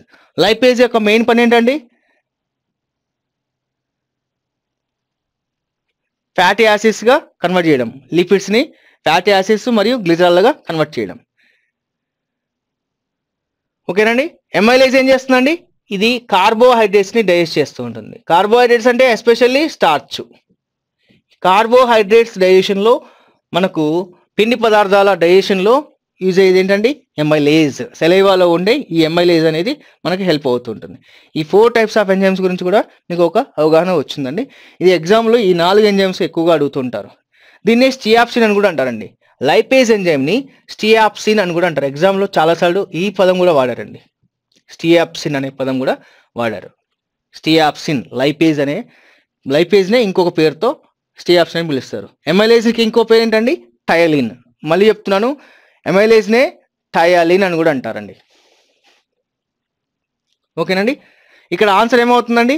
Saliva contains amylase enzyme next question చూడండి. For a wave velocity V frequency F and wavelength lambda is equal to అన్నాడు. అంటే ఇక్కడ వేవ్ లెంత్ వేవ్ వెలాసిటీని ఏ విధంగా డిఫైన్ చేయొచ్చు అని అడుగుతున్నాడండి. ఒక వేవ్ ఇలా మూవ్ అవుతుంది అనుకుందాం ఇలా మూవ్ అవుతున్నప్పుడు వీటిని మనం క్రష్ అంటారండి. శృంగాలు దీన్ని ట్రఫ్ అంటారండి. ద్రోణి అంటాం. అంటే ఒక క్రస్ట్ నుంచి ఇంకొక క్రస్ట్కి మధ్యలో డిఫర దూరాన్ని మనం వేవ్ లెంత్ అంటాం. లేదా ఒక ట్రఫ్కి ఇంకొక ట్రఫ్కి మధ్యలో దూరాన్ని వేవ్ లెంత్ అని కూడా అనొచ్చు. అంటే ఈ రెండింటి మధ్యలో కానీ లేదా ఈ రెండింటి మధ్యలో కానీ దూరాన్ని మనం వేవ్ లెంత్ లామ్డా అంటాం. ఒక ఫ్రీక్వెన్సీ అంటే ఏంటి? ఒక సెకండ్ కాల కాలంలో ఎన్ని వేవ్స్ అయితే ట్రావెల్ చేస్తాయో ఫర్ ఎగ్జాంపుల్ ఇది ఒక ఫిక్స్డ్ పాయింట్ ఉంది అనుకుందాం ఇందులో సింపుల్గా అబ్జర్వ్ చేయండి. ఫ్రీక్వెన్సీ అనే పదానికి పౌనపుణ్యం అనే పదానికి ఫ్రీక్వెన్సీ ఈ ఫిక్స్డ్ లైన్ని ఎన్ని వేవ్స్ అయితే ట్రావెల్ చేస్తాయో ఫర్ ఎగ్జాంపుల్ ఇలా చూడండి. ఇలా ఇక్కడ ఎన్ని వేవ్స్ ట్రావెల్ చేశాయండి? ఒకటి రెండు మూడు వే ఆల్మోస్ట్ ఒక two and half waves travel చేసేయండి అలా కాకుండా ఇక్కడ అబ్జర్వ్ చేయండి వేవ్ లెంత్ తక్కువ ఉంది అనుకుందాం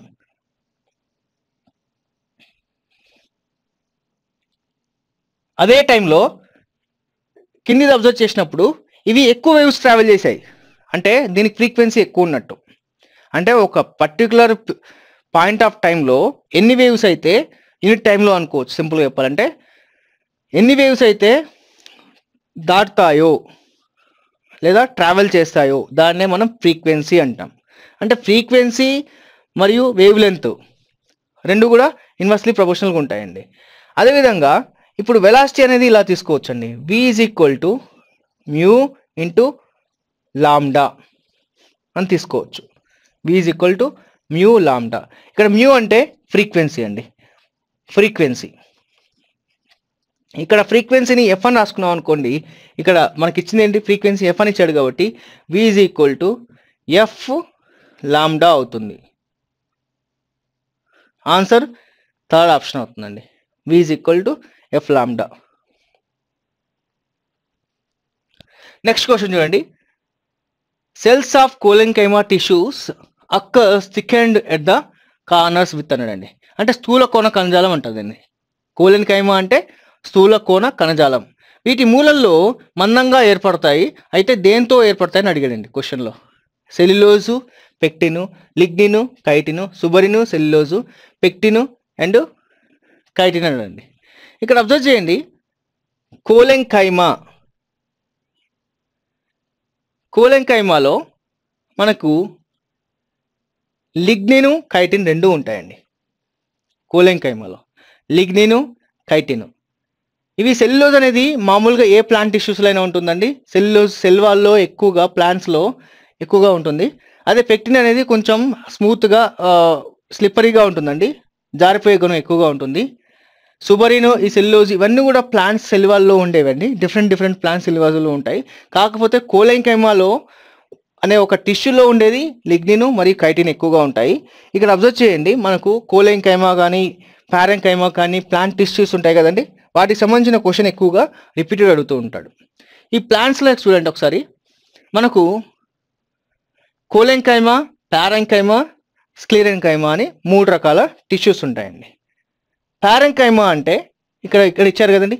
ఈ పారెంకైమా అంటే మృదు కణజాలం అంటాం. మృదు కణజాలం. కోలెంకైమా అంటే స్థూల కోణ కణజాలం అంటారు. స్థూల కోణ కణజాలం. స్క్లీరెంకైమా అంటే దృఢ కణజాలం అంటాం. ఇక్కడ అబ్జర్వ్ చేయండి. దీన్నే మృదు కణజాలం. మృదు కణజాలం. ప్లాంట్స్లో ఇది స్క్లీరెంకైమా అంటే స్థూల కోణ. స్థూల కోణ కణజాలం. స్థూల కోణ కణజాలం అంటాం. ఇది కాదండి. ఇది స్థూల కోణ కణజాలం అని దీన్ని అంటాం కోలెంకైమా అని స్థూల కోణ కణజాలం అని. ఇది దృఢ కణజాలం స్క్లీరెంకైమా అని స్క్లీరెంకైమా అంటే దృఢ కణజాలం ఇక్కడ అబ్జర్వ్ చేయండి ప్లాంట్స్లో వీటి యొక్క మెయిన్ ఫంక్షన్ ఏంటంటే మొక్క ఎక్కడైతే ఎక్కువగా పెరుగుతూ ఉంటుందో లేత భాగాలు ఎక్కడ ఎక్కువ ఉంటాయో అక్కడ ఈ ప్యారంకైమా ఎక్కువగా ఉంటుంది. ఇక్కడ అబ్జర్వ్ చేయండి ప్యారంకైమా లీవ్స్లో ఉంటుంది దాంట్లో క్లోరోప్లాస్ట్ ఉండొచ్చు ఈ వీటిలో సెల్స్ కూడా ఎక్కువ సైజులో ఉంటాయి వాల్యూమ్ ఎక్కువగా ఉంటుంది. సెల్ వాల్ అనేది పల్చగా తిన్నుగా ఉంటుందండి సెల్ వాల్లో కవచం అనేది తిన్నుగా పల్చగా ఉంటుంది. వ్యాక్యూల్స్ అంటే ఇప్పుడు చిన్న చిన్నగా ఉంటాయి. ఇవి ఎక్కువగా ఎక్కడ ఉంటాయండి? లేత భాగాల్లో ఉంటాయి సింపుల్ చెప్పాలంటే ప్యారెంకైమా అనేది. అలా కాకుండా కోలెంకైమా ఎక్కడైతే బెండింగ్ ఎక్కువగా ఉంటుందో స్థూల కొంచెం కంజాలు అది లీవ్స్లో కూడా ఉంటాయి. కొంచెం మెకానికల్ సపోర్ట్ ఇస్తుందండి. ఈ కోలెంకైమా. క్లోరోప్లాస్ట్ ఉండవు. యాక్చువల్ చెప్పాలంటే ఈ ప్యారెంకైమాలో ఉంటాయి కానీ కోలెంకైమాలో క్లోరోప్లాస్ట్ ఉండవు. ఇవి ఇవన్నీ కూడా ఈ రెండు పారంకైమా కావచ్చు కోలెంకైమా కావచ్చు. లివింగ్ సెల్స్ అండి. అంటే జీవ కణాలతో ఏర్పడతాయి. ప్యారెంకైమా ప్లస్ కోలెన్కైమా రెండు కూడా జీవ జీవకణాలతో ఏర్పడతాయి. కానీ డిఫరెన్స్ అబ్జర్వ్ చేయండి. స్క్లీరనికైమా ఉంది కదా. ఇది స్క్లీరనికైమా అనేది దృఢ కణజాలం ఇందులో డెడ్ సెల్స్ ఉంటాయండి. నాన్ లివింగ్ సెల్స్ ఉంటాయి. చాలా చాలా ఇంపార్టెంట్ అండి.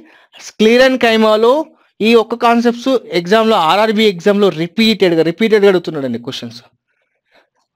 ప్యారంకైమా కోలెంకైమా స్క్లీరెంకైమా అని. ఒకటే గుర్తుపెట్టుకోండి. ప్యారంకైమా కోలెంకైమాలో లివింగ్ సెల్స్ ఉంటాయి. స్క్లీరెంకైమాలో డెడ్ సెల్స్ ఉంటాయి. ఇందులో క్లోరోప్లాస్ట్ ఉండవండి. క్లోరోప్లాస్ట్ ఉండవు డెడ్ సెల్స్ కాబట్టి. ఇది సెకండరీ సెల్ వాల్స్లో ఇది ఎక్కువగా ప్లాంట్స్లో నారళ్ళు పీచు ఉందనుకోండి కొబ్బరి పీచు లాంటివి చూసారనుకోండి మీకు అందులో లివింగ్ సెల్స్ కనిపిస్తాయా? డెడ్ సెల్స్ కనిపిస్తాయా? కొబ్బరి పీచులో? ఫైబర్స్లో అంటే డెడ్ సెల్సే కదా? అందులో ఉండేది ఎక్కువ ఏంటంటే స్క్లీరన్ కైమా ఉంటుందండి. ఇది ప్లాంట్స్ సెల్స్ సంబంధించిందండి. ఓకే? ప్లాంట్స్ టిష్యూ సంబంధించింది. నెక్స్ట్ క్వశ్చన్ చూడండి. The value of three resistance nine ohms four ohms and twelve ohms are connected with parallel what will be the equivalent resistance of a circuit అండి resistance సంబంధించిన question అండి. అంటే మూడు నిరోధాల మూడు నిరోధాలు ఇచ్చాడు. తొమ్మిది ఓంలు నాలుగు ఓంలు పన్నెండు ఓంలు. వాటిని సమాంతరంగా అనుసంధానిస్తే దాని యొక్క ఫలిత నిరోధం ఎంత ఉంటుంది అనేది ఇక్కడ అడిగాడండి. ఫలిత నిరోధం అండి ప్రతిఘటన కాదు నిరోధం. ఫలిత నిరోధం ఎంత అనేది క్వశ్చన్ ఇక్కడ. ఇక్కడ అబ్జర్వ్ చేయండి ఒకవేళ సిరీస్లో అయితే ఎఫెక్టివ్ రెసిస్టెన్స్ని మనం ఫలిత నిరోధాన్ని అన్ని యాడ్ చేస్తే వస్తుంది. R one plus R two plus R three అనుకోవచ్చు. ఇలా ఎన్ని రెసిస్టెన్స్లు ఉంటే అన్ని రెసిస్టెన్స్ని యాడ్ చేస్తే దాన్ని శ్రేణి పద్ధతిలో అంటారు. రెసిస్టెన్స్లో సిరీస్ రెసిస్టెన్స్ అంటాం. కానీ ఒకవేళ ప్యారలల్లో సమాంతరంగా చేసామనుకోండి అప్పుడు ఏమవుతుందంటే effective resistance is equal to R effective resistance is equal to one by R one plus one by R two plus one by R three R three ఇలా up to one by R N రెసిస్టెన్స్ల వరకు వస్తుందండి. ఇది parallel సమాంతరంగా అనుసంధానించినప్పుడు. Parallel and ఇక్కడ మనకి ఏమడిగాడు అడిగాడు? Parallel అడిగాడు కాబట్టి కింది ఫామ్లో యూజ్ చేయాల్సి ఉంటుంది మనం.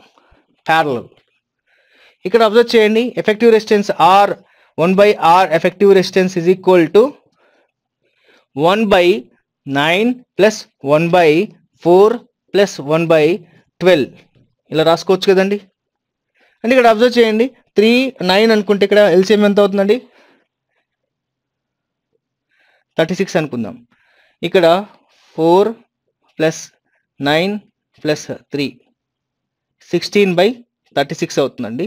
One by R effective resistance is equal to దీన్ని సింప్లిఫై చేసాం అనుకుందాం ఇంకా. ఫోర్ బై నైన్ అని రాసుకోవచ్చండి. Four by nine. R effective resistance is equal to reverse అవుతుంది కదండి నైన్ బై ఫోర్ అవుతుంది. అంటే టూ పాయింట్ టూ అవుతుందండి. టూ పాయింట్ టూ అవుతుంది. Two point two ohms R effective resistance ఇక్కడ. Answer two point two ohms అవుతుందండి. Third option అవుతుంది. Next question చూడండి. A car falls from exhaustive part same question repeat అయిందండి. Same already ఇంతకుముందు చూసాం. V is equal to U plus AT అన్నాం. ఇందులో initial speed zero అయితే యాక్సిలేషను టెన్ అనుకుంటే టైం వన్ సెకండ్ అనుకుంటే వి అప్పుడు ఎంత అవుతుందండి? టెన్ మీటర్ పర్ సెకండ్ అవుతుందండి. టెన్ మీటర్ పర్ సెకండ్ అవుతుంది. ఆన్సర్ థర్డ్ ఆప్షన్ అవుతుంది. రిపీట్ అయింది క్వశ్చన్ నెక్స్ట్ క్వశ్చన్ చూడండి. All samples of carbon dioxide contain carbon and oxygen in the mass ratio of three to eight this is in agreement with the law of hundred అండి. అంటే ఇక్కడ ఒక law ఉంటుందండి కెమిస్ట్రీలో కెమిస్ట్రీలో law of definite ప్రమోష్ proportion అని conservation of అంటే మాస్ అనేది మనకు ఇవన్నీ కూడా ఏంటంటే కెమికల్ రియాక్షన్స్లో ఏ విధంగా ఒక రూల్స్ ఉంటాయి. అలాంటి రూల్స్లో ఒకటి లా ఆఫ్ డెఫినెట్ ప్రమోష ప్రపోర్షన్ అంటాడండి లా ఆఫ్ డెఫినెట్ ప్రపోర్షన్. అంటే ఇక్కడ ఏమవుతుందంటే ఇక్కడ అబ్జర్వ్ చేయండి. లా ఆఫ్ డెఫినెట్ ప్రపోర్షన్ ఏం చెప్తుందంటే డెఫినెట్ ప్రపోర్షన్. ఏదైనా కెమికల్ రియాక్షన్ జరిగి ఒక ప్రోడక్ట్ ఉత్పత్తి అవుతుంది అనుకుందాం ఆ ఉత్పత్తి అయ్యే ప్రోడక్ట్ అనేది ఎప్పుడు కూడా ఏ విధంగా కలుస్తుంది అంటే ఫర్ ఎగ్జాంపుల్ కార్బన్ డైఆక్సైడ్ తీసుకుందాం మనం. ఈ కార్బన్ డైఆక్సైడ్ ఎప్పుడు కూడా ఏర్పడాలంటే మనకి ఎప్పుడు ఏ రేషియోలో కలవాలి అంటే మనకు ఏ మెథడ్లో అయినా ఉత్పత్తి కావచ్చు అది. మనకు మెథడ్ ఏ మెథడ్ ద్వారా ఉత్పత్తి అవుతుంది లేదా ఎలా ఉత్పత్తి అవుతుంది అనేది మనకు మ్యాటర్ కాదు. కానీ అప్పుడు ఆ కార్బన్ డైఆక్సైడ్ ఏర్పడే క్రమంలో ఇది ఎప్పుడు కూడా కార్బన్ డైఆక్సైడ్కి ఎంత అవుతుందండి? మాస్ ఆటమిక్ మాస్ టోటల్గా కార్బన్ అనేది four twelve plus oxygen sixteen plus sixteen sixteen into two thirty two. అంటే టోటల్ ఎంత అవుతుందండి? ఫార్టీ ఫోర్ అవుతుంది అనుకుందాం. ఫార్టీ ఫోర్ అంటే ఇందులో కార్బన్ యొక్క పర్సంటేజ్ చూసామనుకుందాం టోటల్ ఆటమిక్ మాస్లో కార్బన్ ట్వెల్వ్ కదా? Atomic mass. టోటల్గా ఈ కార్బన్ డైఆక్సైడ్ యొక్క atomic mass forty four. Oxygen యొక్క ఆటమిక్ మాస్ ఇక్కడ ఇండివిజువల్గా చూసామనుకుందాం sixteen plus sixteen thirty two. Thirty two by forty four. ఓకేనండి? ఇక్కడ ఎంత అవుతుందండి two six times two twenty two times లేదా ఫోర్తో చూడండి. Four three times four eleven times. Four eight times four eleven times. అంటే ఎప్పుడు కూడా ఇది త్రీ బై లెవెన్ పార్ట్సే ఉంటుంది? ఇది ఎయిట్ బై లెవెన్ పార్ట్సే ఉంటుందండి. ఎయిట్ బై లెవెన్ పార్ట్సే ఉంటుంది. ఆటమిక్ మాస్ అనేది ఎప్పుడు కూడా ఇదే రేషియోలో యాడ్ అవుతూ ఉంటాయి. ఓకేనా అంటే ఏ కా ఏ మెథడ్ ఏ మెథడ్లో తీసుకున్నా కూడా కార్బన్ డైఆక్సైడ్లో ఇలాగే three by eleven parts of carbon dioxide eight by eleven parts of oxygen add అయితేనే కార్బన్ డైఆక్సైడ్ ఫామ్ అవుతూ ఉంటుందండి. దీన్నే లా ఆఫ్ డెఫినెట్ ప్రపోర్షన్స్ అంటారు. సారీ అండి ఇది ప్రపోర్షన్ అండి. ప్రోటీన్స్ కాదు proportion law of definite proportion దీన్ని అంటే ఏ రేషియోలో రెండు కెమికల్ సబ్స్టెన్సెస్ రియాక్టెంట్స్ రియాక్ట్ అవుతాయో అంటే కార్బన్ డైఆక్సైడ్ ఫామ్ కావాలన్నా ఆక్సిజన్ ఫామ్ కావాలన్నా హైడ్రోజన్ ఫామ్ కావాలన్నా ఇలా ఈ హైడ్రోజన్ ఫామ్ కావాలంటే లేదా ఇంకొకటి సల్ఫర్ డయాక్సైడ్ అనుకుందాం. సల్ఫర్ డయాక్సైడ్ ఫామ్ కావాలన్నా ఏ సల్ఫర్ అప్పుడు సల్ఫర్ ఏ రేషియోలో యాడ్ కావాలి? ఆక్సిజన్ ఏ రేషియోలో యాడ్ కావాలి అనేది ఏ ప్రపోర్షన్లో యాడ్ కావాలనేది ఎప్పుడు కూడా సేమ్ ఉంటుంది. మెథడ్ పైన కానీ దేనిపైన కానీ డిపెండ్ కాదు. దాన్నే లా ఆఫ్ డెఫినెట్ ప్రపోర్షన్ అంటారండి. Law of conservation of mass అంటే ఇనిషియల్గా ఎనర్జీ అనేది మాస్ అనేది ఎక్కడ కూడా లాస్ కాదు అంటారు. ఇనిషియల్గా ఎంత మాస్ ఉంటుందో ఫైనల్ కూడా అంతే మాస్ ఉంటుంది. అప్పుడు ప్రిజర్వ్ అవుతూ ఉంటుంది కన్జర్వేషన్ ఆఫ్ మాస్లో. ఇనిషియల్గా రియాక్టెంట్స్కు ఉన్న మాస్ ఫైనల్గా ప్రొడక్ట్స్కు ఉన్న మాస్ అనేది సమానం అయితే అది కన్జర్వేషన్ ఆఫ్ మాస్ అంటాం. రెసిప్రోకల్ ప్రపోర్షన్ అనేది సపరేట్ అండి ఇది. Conservation of energy. Energy is not energy loss కాదు అదేవిధంగా గెయిన్ కాదు. అంటే టోటల్గా ఎనర్జీ అనేది ప్రిజర్వ్ అవుతూ ఉంటుంది. దాన్ని conservation of mass conservation of energy అంటారు. ఓకేనండి? ఇక్కడ ఆన్సర్ ఏమవుతుందండి? లా ఆఫ్ డెఫినెట్ ప్రపోర్షన్ అంటారండి.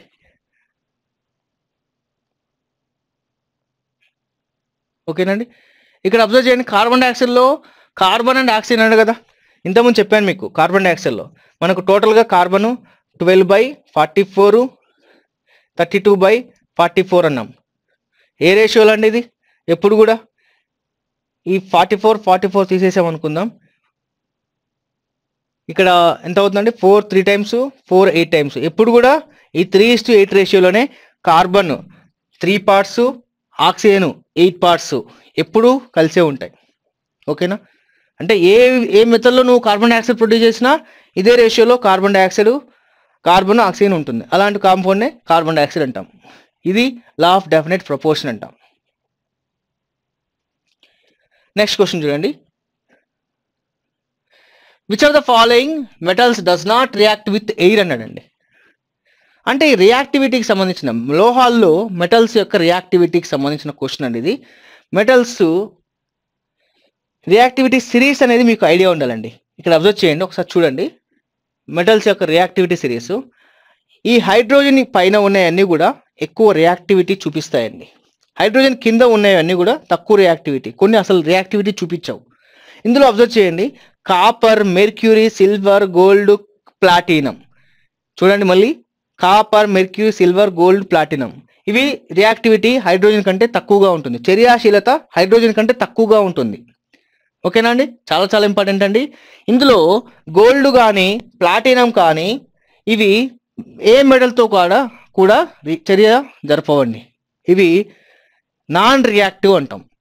అందుకే వీటికి అంత ఎక్కువ గోల్డ్ కానీ ప్లాటినం కానీ ఎక్కువ కాస్ట్ ఎందుకు ఉంటుందంటే అవి వేరే వేరే మెటల్స్తో రియాక్ట్ చెందవు కాబట్టి వాటికి ఒక అంత డిమాండ్ ఉంటుందండి. ఓకేనండి దే ఆర్ నాన్ రియాక్టివ్ అండి. దే ఆర్ వెరీ అన్రియాక్టివ్ అని కూడా అనొచ్చు. ఈ రియాక్టివిటీ సిరీస్ కొంచెం ఐడియా ఉండాలండి మీరు. జస్ట్ హైడ్రోజన్ కంటే పైన ఉన్నవన్నీ కూడా ఎక్కువ రియాక్టివిటీ చూపిస్తాయి. హైడ్రోజన్ కింద ఉన్నవి కాపర్ కానీ మెర్క్యూరీ కానీ సిల్వర్ కానీ గోల్డ్ ప్లాటినం ఇవన్నీ కూడా తక్కువ రియాక్టివిటీ చూపిస్తాయి. ఇందులో ఎస్పెషల్లీ గోల్డ్ ప్లాటినం అనేవి నాన్ రియాక్టివ్ అండి. నాన్ రియాక్టివ్ అసలు రియాక్ట్ కావచ్చు చర్యాశీలత అసలు ఉండదు వాటికి. ఇక్కడ చూడండి ఈ క్వశ్చన్లో which of the following metals does not react with air అన్నాడండి. మనం ఇప్పుడే చూసాం. గోల్డ్ కానీ ప్లాటినం కానీ వాటికి చర్యాశీలత చాలా తక్కువగా ఉంటుంది. వీటితో కంపేర్ చేసినప్పుడు సిల్వర్ రియాక్ట్ అవుతుంది. సిల్వర్ ఇక్కడ ఉంది ఇక్కడ ఉంది. నెక్స్ట్ పొటాషియం రియాక్ట్ అవుతుందండి. పొటాషియం మెటల్ రియాక్ట్ అవుతుంది. హై రియాక్టివిటీ ఉంటుంది కాబట్టి దీన్ని మనము కిరోసిన్లో స్టోర్ చేస్తారు. ఇది గాలిలో ఎక్స్పోజ్ చేసామనుకోండి వెంటనే రియాక్ట్ అవుతూ ఉంటుంది రియాక్ట్ అవుతూ ఉంటుంది. కాబట్టి దీన్ని కిరోసిన్లో స్టోర్ చేస్తారు. ఇది సిల్వర్ అనేది సిల్వర్ క్లోరైడ్ సిల్వర్ బ్రోమైడ్ ఇలాంటి ఫామ్ అవుతాయి కదండి. మనకు ఫోటో ఫిల్మ్స్లో ఎక్కువ వాడుతుంటాం. సిల్వర్ బ్రోమైడ్ సిల్వర్ క్లోరైడ్ అనేవి. ఇవి కూడా రియాక్ట్ అవుతూ ఉంటాయి. అంటే సిల్వర్ రియాక్ట్ అవుతుంది సిల్వర్ ఇక్కడ కూడా ఉంది సిల్వర్ రియాక్ట్ అవుతుంది పొటాషియం హై రియాక్టివిటీ ఉంటుంది. అందుకే దాన్ని క్రియేషన్లో స్టోర్ చేస్తూ ఉంటాం. ఇక్కడ గోల్డ్ కానీ ప్లాటినం కానీ దే ఆర్ నాన్ రియాక్టివ్ అండి. నాన్ రియాక్టివ్ మనకు ఎగ్జామ్లో అడిగింది డస్ నాట్ రియాక్టివ్ ఇస్తున్నాడు కాబట్టి డస్ నాట్ రియాక్టివ్ ఇస్తున్నాడు కాబట్టి గోల్డ్ ప్లాటినం వస్తుందండి. గోల్డ్ ప్లాటినం ఫస్ట్ ఆప్షన్ అవుతుందండి. ఆన్సర్ ఏమవుతుందండి? ఫస్ట్ ఆప్షన్ నెక్స్ట్ క్వశ్చన్ చూడండి. Product of force and speed is call ఉన్నాడండి వెరీ వెరీ సింపుల్ క్వశ్చన్ అండి. Product of force and speed ఇక్కడ అబ్జర్వ్ చేయండి. ఫోర్స్ అండ్ స్పీడ్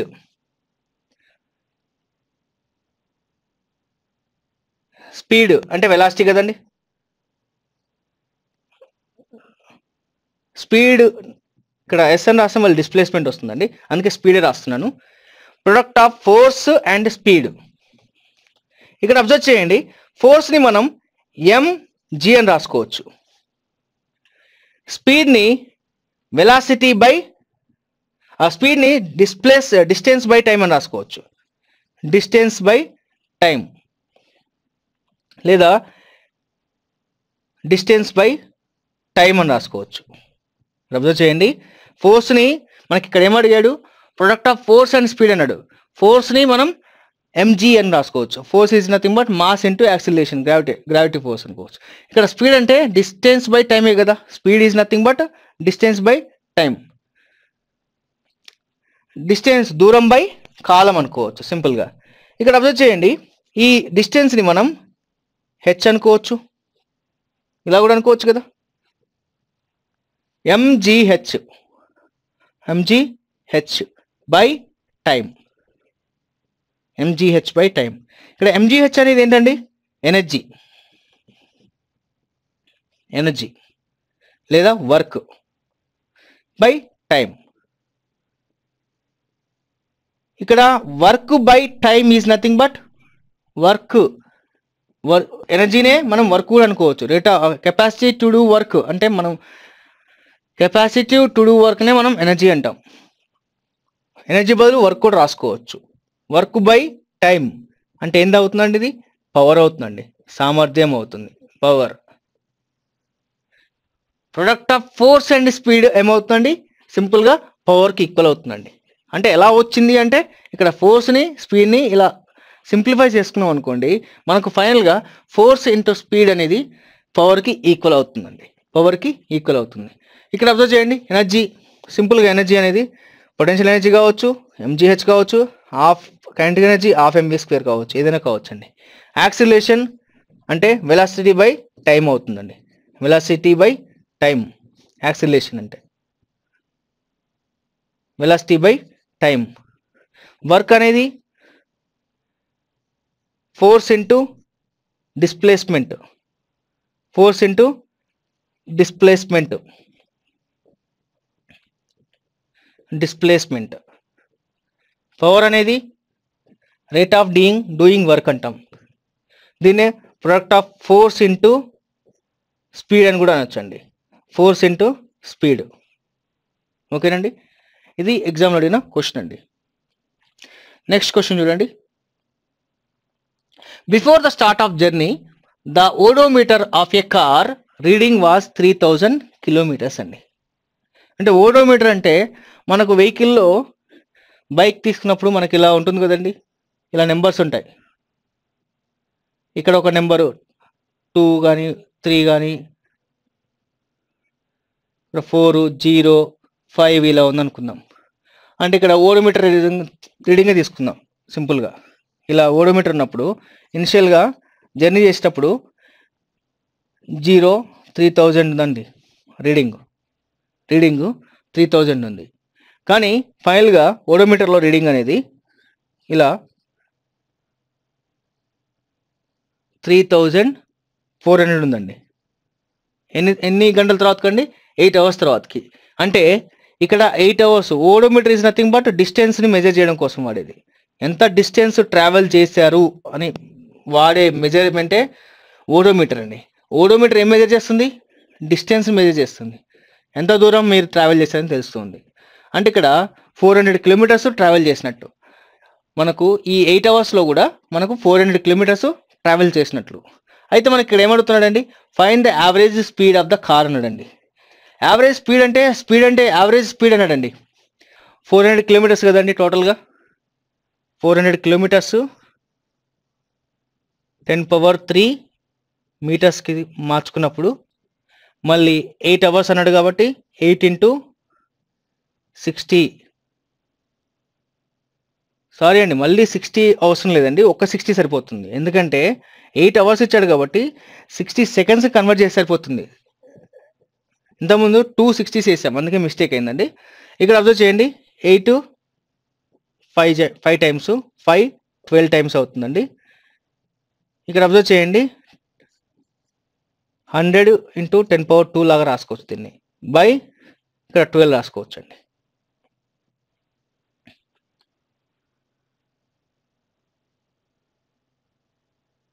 ఎంత అవుతుందండి? టెన్ పవర్ త్రీ మీటర్సే కదా? లేదండి ఇక్కడ సిక్స్టీ ఇంటూ సిక్స్టీ వేయాల్సింది. ఎందుకంటే సిక్స్టీ మినిట్స్ సిక్స్టీ సెకండ్స్ కాబట్టి ఇలా వేసినప్పుడు సింప్లిఫై చేస్తే ఆన్సర్ వస్తుందండి. థర్టీన్ పాయింట్ నైన్ సంథింగ్ వస్తుందండి. లేదా యూనిట్స్ పట్టి చూడండి ఇక్కడ. Thirteen point nine meter per second వస్తుందండి. సింప్లిఫై చేస్తే వస్తుందండి. ఇక్కడ కాన్సెప్ట్ అయితే అదేనండి. నెక్స్ట్ క్వశ్చన్ చూడండి. If an element has eleven protons and twelve neutrons in its nucleus find the atomic mass of the element అన్నాడండి. Atomic mass of the element అండి కెమిస్ట్రీకి సంబంధించిన ఆటమిక్ స్ట్రక్చర్లోని క్వశ్చన్ అండి ఇది. మనకి ఏదైనా ఎలిమెంట్ ఉన్నప్పుడు ఫర్ ఎగ్జాంపుల్ ఎక్స్ అనే ఎలిమెంట్ ఉంది అనుకుందాం దాని యొక్క ఆటమిక్ నెంబర్ అనేది జెడ్ అనేది ఇలా రిప్రజెంట్ చేయొచ్చండి. జెడ్ అంటాం. ఆటమిక్ నెంబర్ ఇది. ఆటమిక్ నెంబర్ అంటాం. ఆటమిక్ నెంబరు ఎక్కువగా నెంబర్ ఆఫ్ ప్రోటాన్స్కి ఈక్వల్ అవుతుందండి. ఇక్కడ ఆటమిక్ మాస్ అంటే ఏ అని ప్రజెంట్ చేస్తారండి. ఇది ఆటమిక్ మాస్ అంటాం. పరమాణు భారం. పరమాణు సంఖ్య. ఓకేనా అండి. ఇక్కడ atomic mass is nothing but ఇప్పుడు న్యూక్లియస్ తీసుకున్నాం. ఒక ఆటం తీసుకుంటే ఇందులో న్యూక్లియస్ ఉంటుంది. న్యూక్లియస్ చుట్టూ కూడా ఎలక్ట్రాన్లు తిరుగుతూ ఉంటాయి. ఎలక్ట్రాన్లు తిరుగుతూ ఉంటాయి. దీంట్లో న్యూక్లియస్లో ఈ న్యూక్లియస్ కేంద్రకంలో ఏమేమి ఉంటాయండి? ప్రోటాన్స్ ప్లస్ న్యూట్రాన్స్ రెండు ఉంటాయి. ఈ న్యూక్లియస్లో ఉన్న ప్రోటాన్ సంఖ్య ప్రోటాన్స్ నెంబర్ ప్లస్ న్యూట్రాన్స్ నెంబర్నే మనం ఆటమిక్ నెంబర్ అంటామండి. ఆటమిక్ మాస్ అంటారండి. సారీ ఆటమిక్ మాస్ అంటాం. ఆటమిక్ మాస్ అంటారండి. ప్రోటాన్స్ ప్లస్ న్యూట్రాన్స్ రెండింటిని కలిపితే ఎంత వస్తుందో దాని యొక్క దాన్నే ఆటమిక్ మాస్ అంటారండి. ఇక్కడ అబ్జర్వ్ చేయండి. Atomic mass is nothing but A is equal to number of protons plus neutrons. సింపుల్గా. Number of protons plus neutrons ఇక్కడ అబ్జర్వ్ చేయండి. ప్రోటాన్స్ ఎన్ని ఉన్నాయి లెవెన్ ప్లస్ న్యూట్రాన్స్ ఎన్ని ఉన్నాయండి ట్వెల్వ్ టోటల్ ఎంత అవుతుందండి? Atomic mass A is equal twenty three అవుతుందండి. ఆటమిక్ మాస్ ట్వంటీ త్రీ అవుతుంది. సింపుల్ అండి. నెక్స్ట్ చూడండి. At which of the following place acceleration due to gravity is zero అన్నాడండి. క్వశ్చన్ యాక్సిలేషన్ డ్యూ టు గ్రావిటీకి సంబంధించిందండి. Acceleration due to gravity. అంటే ఇక్కడ G value గురుత్వాకర్షణ బలం లేదా గురుత్వాకర్షణ శక్తి అనేది ఇక్కడ గురుత్వాకర్షణ త్వరణం అనేది మనకి ఎక్కడెక్కడ ఎక్కువ ఉంటుంది ఎక్కడెక్కడ తగ్గుతూ ఉంది అది ప్లేస్ని బట్టి మారుతూ ఉంటుందండి జీ వాల్యూ. జీ వాల్యూ అనేది ప్లేస్ని బట్టి మారుతూ ఉంటుంది. ఇక్కడ అబ్జర్వ్ చేయండి ఇప్పుడు మీరు ఒకవేళ ఎర్త్ తీసుకున్నారు అనుకుందాం. ఎర్త్ అనుకుందాం దీన్ని. ఎర్త్లో మనకు డిఫరెంట్ డిఫరెంట్ ప్లేసులు చూద్దామండి. ధృవాల వద్ద పోల్స్ వద్ద జీ వాల్యూ అనేది జీ ఈజ్ మ్యాక్సిమం అండి. ఎక్కువగా ఉంటుంది. జీ అనేది ఎక్కువగా ఉంటుంది. అదేవిధంగా ఈక్వేటర్ భూమధ్య రేఖ ఉంటుంది కదా. భూమధ్య రేఖ ఈక్వేటర్ ఈక్వేటర్ భూమధ్య రేఖ వద్ద జీ వాల్యూ తక్కువగా ఉంటుంది. జీ మినిమం అంటాం. జీ మినిమం అదే సెంటర్ ఆఫ్ ద ఎర్త్ దగ్గర అనుకుందాం. ఎర్త్ యొక్క centre earth centre of the earth centre of the earth ఇక్కడ జీ వాల్యూ జీరో ఉంటుందండి. జీరో చాలా చాలా ఇంపార్టెంట్ అండి. ఆర్ఆర్బిలో ఎక్కువసార్లు రిపీటెడ్గా అడిగారు క్వశ్చన్ ఇక్కడ గుర్తుపెట్టుకోండి. పోల్స్ దగ్గర జీ వాల్యూ ఎక్కువగా ఉంటుంది. ఈక్వేటర్ దగ్గర తక్కువగా ఉంటుంది. అదే సెంటర్ ఆఫ్ ఎర్త్ ఎర్త్ దగ్గర సున్నా ఉంటుంది. జీరో ఉంటుంది. ఓకేనా ఇది సెంటర్ ఆఫ్ ద ఎర్త్ దగ్గర అండి అదేవిధంగా మీరు పైకి వెళ్ళే కొద్దీ ఫర్ ఎగ్జాంపుల్ ఎవరెస్ట్ మీదకి వెళ్ళారనుకుందాం. ఎవరెస్ట్ పైన జీ మామూలు కంటే ఎక్కువ ఉంటుందా తక్కువ ఉంటుందా అనేది కూడా క్వశ్చన్ అండి. ఎవరెస్ట్ మీద జీ వాల్యూ అనేది లెస్ దాన్ ఆన్ ఎవరెస్ట్ ఎవరెస్ట్కి వెళ్ళినప్పుడు G is less than okay? G అనేది తక్కువగా ఉంటుంది. ఎంత అంటే less than nine point eight నార్మల్గా G value nine point eight కదండి? నైన్ పాయింట్ ఎయిట్ కంటే తక్కువగా ఉంటుంది. ఓకేనా? అంటే ఎక్కువ తక్కువ అని అడిగాడు అనుకోండి తక్కువగా ఉంటుందని గుర్తుపెట్టుకోండి జీ వాల్యూ ఇక్కడ మనకు అడిగిందండి at which of the following place acceleration due to gravity zero అన్నాడు. అంటే జీరో ఎక్కడ ఉంటుంది అని అడిగాడు. అంటే at the centre of the earth అవుతుందండి. At the centre of the earth అనేది ఆన్సర్ అవుతుందండి. నెక్స్ట్ క్వశ్చన్ చూడండి. Which of the which product has been formed when we heat ferrous sulphate crystalline test tube అనడండి ferrous sulphate అనే ఒక compound తీసుకొని మనం test ట్యూబ్లో ల్యాబ్లో హీట్ చేసినప్పుడు ఏ ప్రొడక్ట్స్ ఫామ్ అవుతాయి అనేది క్వశ్చన్ అండి. సింపుల్ క్వశ్చన్ అండి. ఇక్కడ అబ్జర్వ్ చేయండి.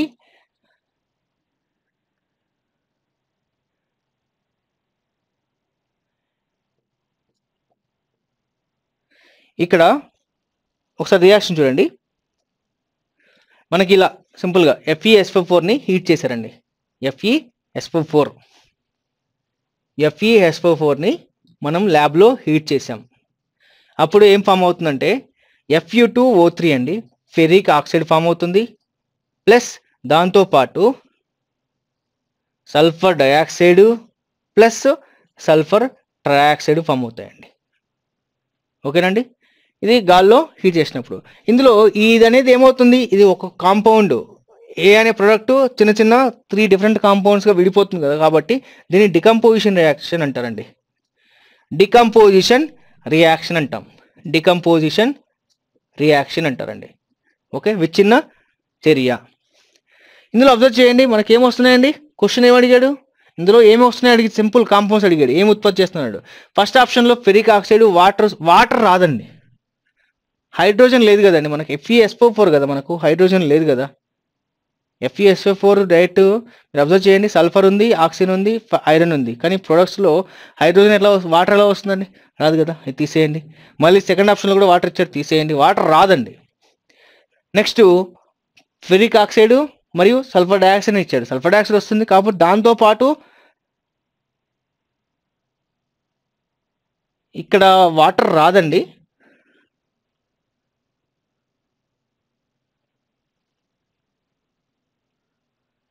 Ferric oxide and sulphur dioxide plus sulphur trioxide కూడా వస్తుందండి.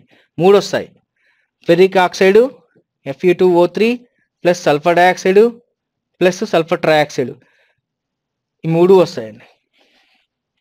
ఓకేనా? Next question. What is the similarity between helium and argon అన్నాడండి. హీలియం మరియు ఆర్గాన్ మధ్య సారూప్యత ఏమిటి? Both elements are in liquid form ఇవి ఏంటండి హీలియం ఆర్గాన్ రెండు కూడా ప్రియారిటీ టేబుల్లో దేనికి సంబంధించినాయండి? ఇనట్ గ్యాసెస్ జడవాయువులు అంటాం. హీలియం అండ్ ఆర్గాన్ రెండు కూడా మనకు ఇనట్ గ్యాసెస్ అంటాం. Inert gases eighteenth group elements అంటారు. Eighteenth group elements inert gases. Inert gases. వీటిలో అవుటర్ షెల్లో ఏ విధంగా ఉంటాయండి? Outer shell outer shell is completely filled అండి ఇది. బాహ్య కర్పరంలో పూర్తి ఎలక్ట్రాన్లు పూర్తిగా నిండిబడి ఉంటాయి. Outer shell is completely filled బాహ్య కర్పరం కంప్లీట్గా పూర్తిగా నింపబడి ఉంటుంది. కంప్లీట్లీ ఫిల్డ్ అంటే ఎయిట్ ఎలక్ట్రాన్స్ ఉంటాయి బాహ్య కర్పరంలో. హీలియంలో అయితే రెండు ఉంటాయి.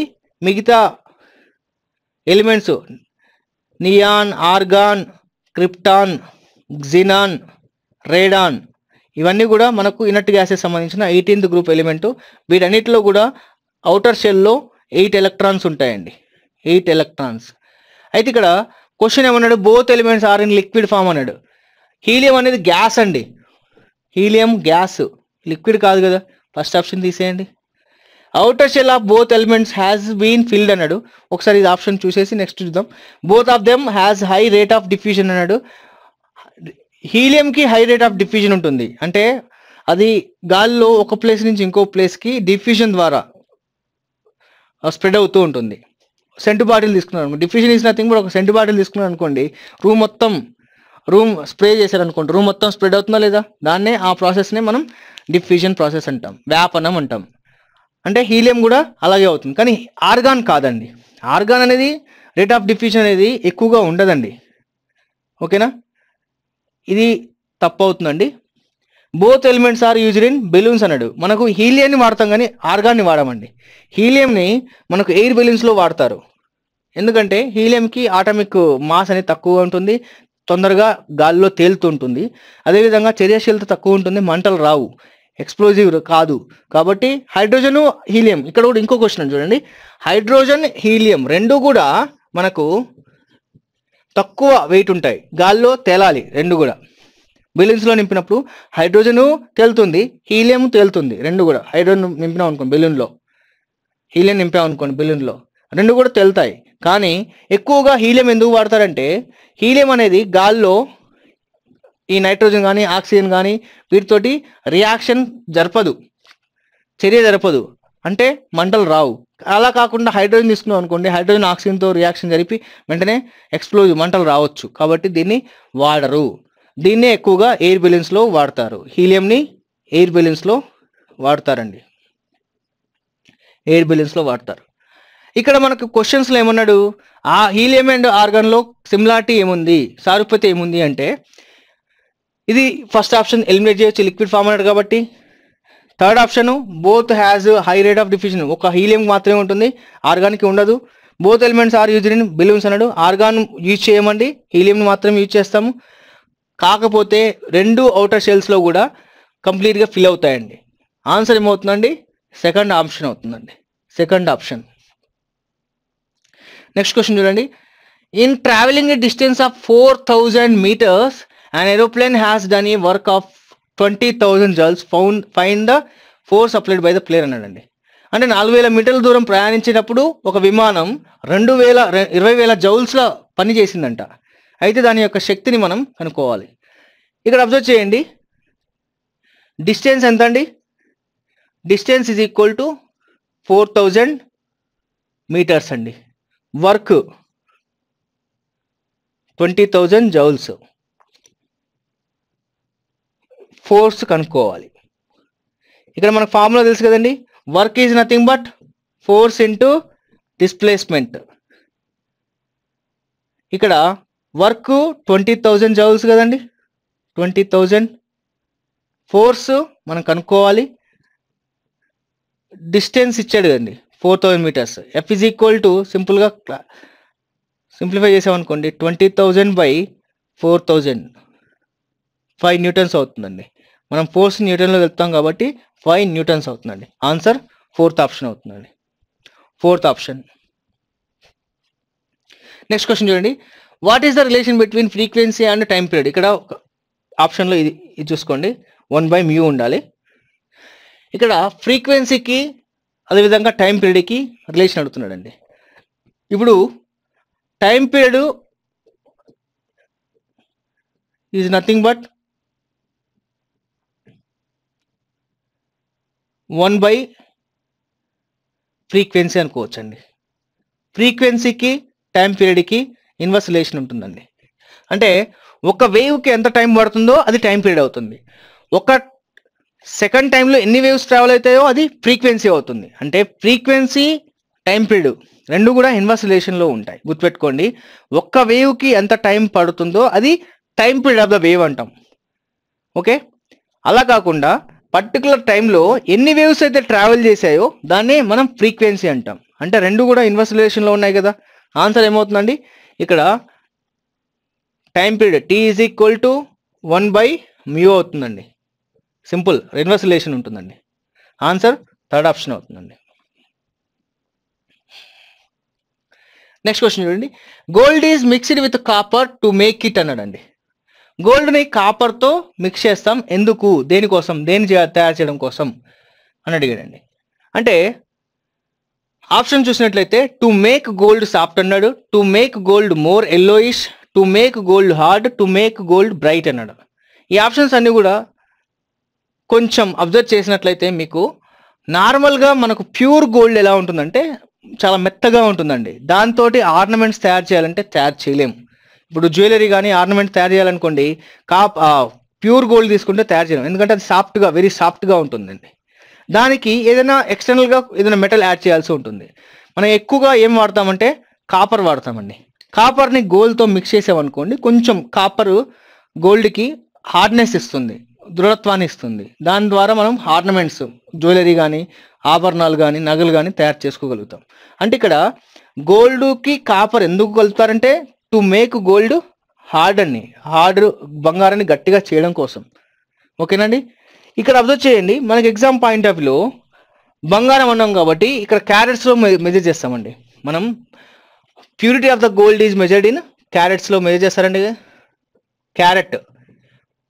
ప్యూరిటీ ఆఫ్ ద బంగారం యొక్క స్వచ్ఛత అంటాం సింపుల్గా.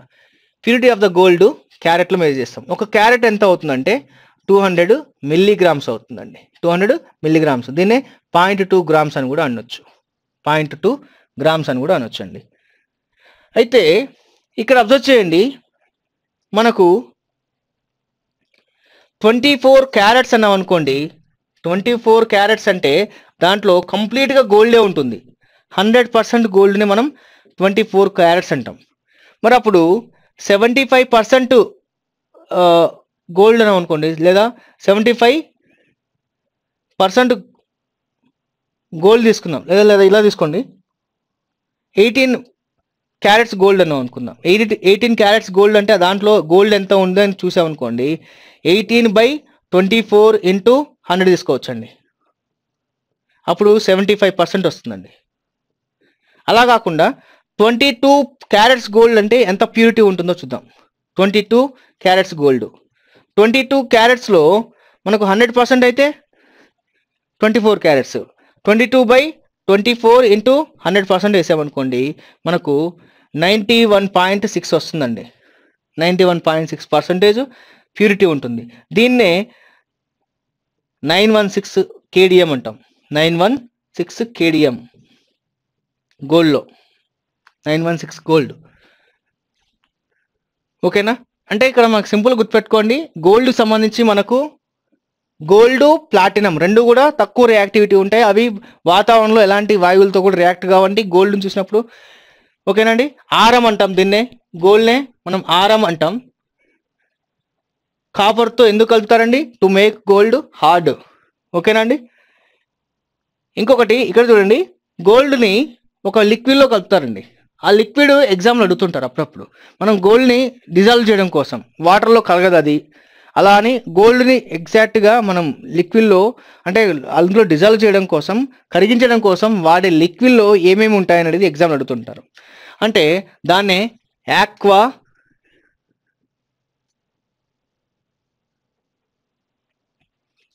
రీజియా అంటారండి. యాక్వా రీజియా అనే సొల్యూషన్ ఒకటి ఉంటుంది. Aqua రీజియాలో three parts of hydrochloric acid HCl ఉంటుంది plus one part of HNO three ఉంటుందండి. నత్రిక్ నత్రికంలో నత్రిక్ ఆమ్లం అంటాం నైట్రిక్ యాసిడ్. ఈ మూడింటిని కలిపి అంటే three parts of హెచ్సిఎల్ని one part of H N O three మనం ఆక్వారీజియా ఉంటాం. ఈ ఆక్వారీజియాని టు డిజాల్వ్ గోల్డ్ గోల్డ్ని కరిగించడం కోసం వాడే లిక్విడ్ అండి ఇది. To dissolve gold. మనం యాక్వరేజ్గా వాడుతుంటాం. ఇది కూడా ఎగ్జామ్లో చాలాసార్లు అడిగాడండి. వాట్ ఈస్ ద రేషియో అని కూడా అడుగుతాడండి. హెచ్సిఎల్కి హెచ్ఎన్ఓ త్రీకి రేషియో ఎంత అంటాడండి. లేదా హెచ్ఎన్ఓ త్రీకి హెచ్సిఎల్ రేషియో అన్నాడు అనుకోండి వన్ ఇస్ టు త్రీ హెచ్సిఎల్కి హెచ్ఎన్ఓ త్రీకి రేషియో అన్నాడు అనుకోండి three is to one next question చూడండి. Combustion of coal and petroleum results in the formation of dash oxide అన్నాడండి. అంటే కోల్ని పెట్రోలియంని మనం కంబషన్ చేసామనుకోండి మనకు ఏ oxides వస్తాయన్నాడండి.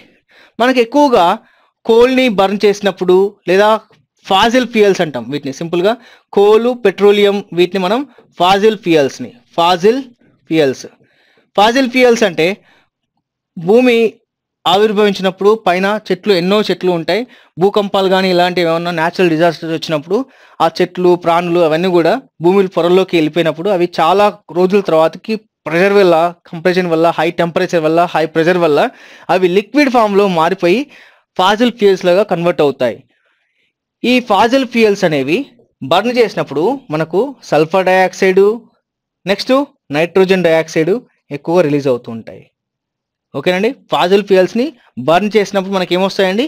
Sulphur dioxide nitrogen dioxide. Oxides of nitrogen and oxides of sulphur. ఈ రెండు కూడా వాతావరణంలో ఉన్న వా వాటర్తో కలిసి కలిసిపోయాయి అనుకుందాం. అట్మాస్ఫియర్తోని వాటర్తో రియాక్ట్ అయ్యాయి అనుకోండి ఇప్పుడు sulphur dioxide plus water H two O plus sulphur dioxide. మనకేమవుతుందండి? H two S four form అవుతుందండి. Sulphuric acid. అదేవిధంగా H two O plus nitrogen dioxide. ఏమవుతుందండి? HNO three HNO three nitric acid form అవుతుంది.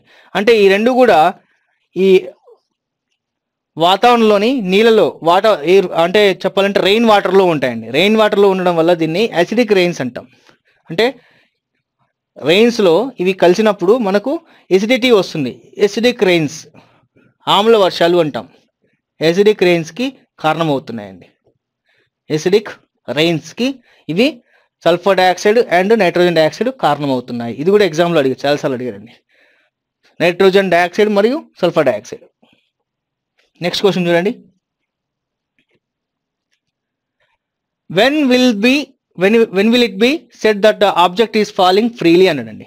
ఒక ఒక object free falling స్వేచ్ఛగా పతనం చెందుతున్న వస్తువు అని ఎప్పుడంటామంటే ఆ ఆబ్జెక్ట్ పైన ఎయిర్ రెసిస్టెన్స్ కానీ ఇలాంటి మాస్ ఎఫెక్ట్ కానీ ఇలాంటి అన్ని తీసేసిన తర్వాతకి అది భూమికి పైనుంచి కిందికి ఎలా చేరుతుంది? అంటే కంప్లీట్గా భూమి అనేది ఆ వస్తువుని అట్రాక్ట్ చేస్తుంది. అంటే ఆ భూమి పైన ఆ ఆబ్జెక్ట్ పైన ఆ వస్తువు పైన ఏ బలం బాహ్యంగా ఎలాంటి ఎఫెక్ట్ లేదు. ఓన్లీ గ్రావిటేషనల్ ఫోర్స్ ఎఫెక్ట్ మాత్రమే ఉందనుకోండి అప్పుడు ఆ ఆబ్జెక్ట్ను ఫ్రీ ఫాలింగ్ ఆబ్జెక్ట్ అంటారండి. సింపుల్గా అబ్జర్వ్ చేయండి. మాస్తో సంబంధం లేకుండా. ఇప్పుడు ఒక ఆబ్జెక్ట్ రెండు రెండు ఆబ్జెక్ట్స్ తీసుకున్నామండి. ఒకటి ఏంటంటే పేపర్ వైట్ పేపర్ ఉంది. అదేవిధంగా ఈక్వల్గా మాస్ ఉన్న ఒక బాల్ ఐరన్ బాల్ ఏదైనా తీసుకుందాం. రెండింటిని ఇలా కిందికి వేసామనుకుందాం రెండు సేమ్ మాస్ ఉన్నాయండి. కానీ పేపర్ అనేది స్లోగా రీచ్ అవుతుంది. ఐరన్ బాల్ అనేది ఫాస్ట్గా ఎర్త్ని రీచ్ అవుతుంది. ఎందుకు అంటే ఇక్కడ ఎయిర్ రెసిస్టెన్స్ అనేది పైకి నెడుతూ ఉంటుంది ఈ పేపర్ని. కాబట్టి అది లేట్గా రీచ్ అవుతూ ఉంటుంది. అంటే ఇలాంటి ఎఫెక్ట్స్ అన్ని తీసేసిన తర్వాతకి ఓన్లీ గ్రావిటేషనల్ ఎఫెక్ట్ మాత్రమే కన్సిడర్ చేస్తే ఒక ఆబ్జెక్ట్ ఏ విధంగా పడుతుంది దాని యొక్క మోషన్ ఏంటి అనేది అన్ని స్టడీ చేయడాన్ని మనం ఫ్రీ ఫాలింగ్ ఆబ్జెక్ట్ అంటారండి. ఫ్రీ ఫాలింగ్ ఆబ్జెక్ట్ అంటే ఏంటండి ఓన్లీ గ్రావిటేషనల్ ఫోర్స్ ఎఫెక్ట్ మాత్రమే ఉంటుంది. అంటే ఇక్కడ అబ్జర్వ్ చేయండి ఆప్షన్స్లో when its weight is first first option only when gravitational forces work on it కరెక్టే కదండి? చెప్పిన కాన్సెప్ట్ అదే కదండి. గ్రావిటేషనల్ ఫోర్స్ మాత్రమే పనిచేసినప్పుడు ఆ ఆబ్జెక్టు మనం ఫ్రీ ఫాలింగ్ ఆబ్జెక్ట్గా కన్వర్ట్ చేయొచ్చు. కన్సిడర్ చేయొచ్చు. ఓకేనండి ఫస్ట్ ఆప్షన్ కరెక్ట్ అవుతుందండి. Next question which of the following is not a heterogeneous atom అనడండి ఇప్పుడు ఇక్కడ అబ్జర్వ్ చేయండి. హోమో ఆటమిక్ మాలిక్యూల్స్ అంటే సేమ్ ఆటమిక్ సంబంధించినవి.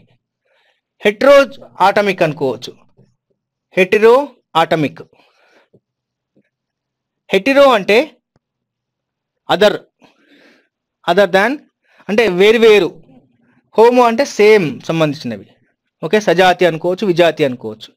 ఆటమిక్ అంటే homo atom for example H two ఉంది అనుకున్నాం. రెండు హైడ్రోజన్లే. ఆక్సిజన్ అనుకోవచ్చు. రెండు ఆక్సిజన్లు మాత్రమే. నైట్రోజన్ కావచ్చు. నైట్రోజన్ అణువులన్నీ కలిపి నైట్రోజన్ కావచ్చు.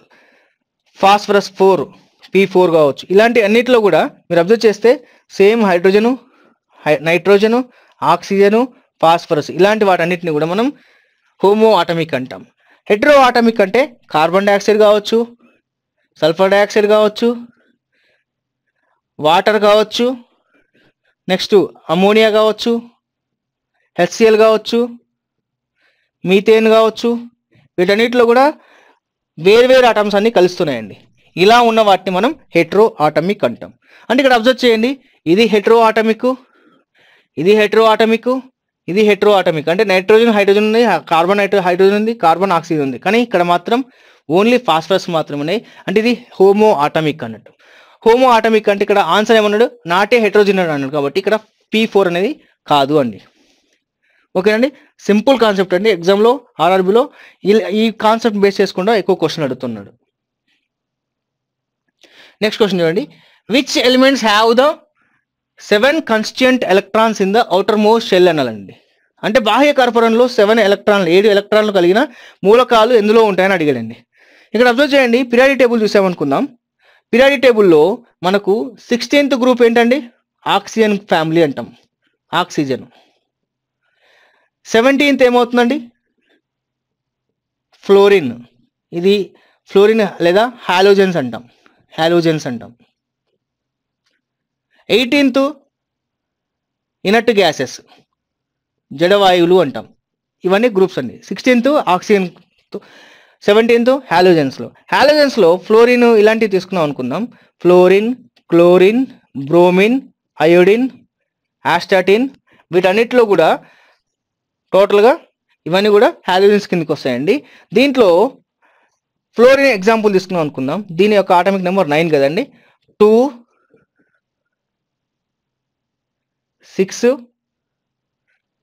ఇక్కడ అబ్జర్వ్ చేయండి. మనకు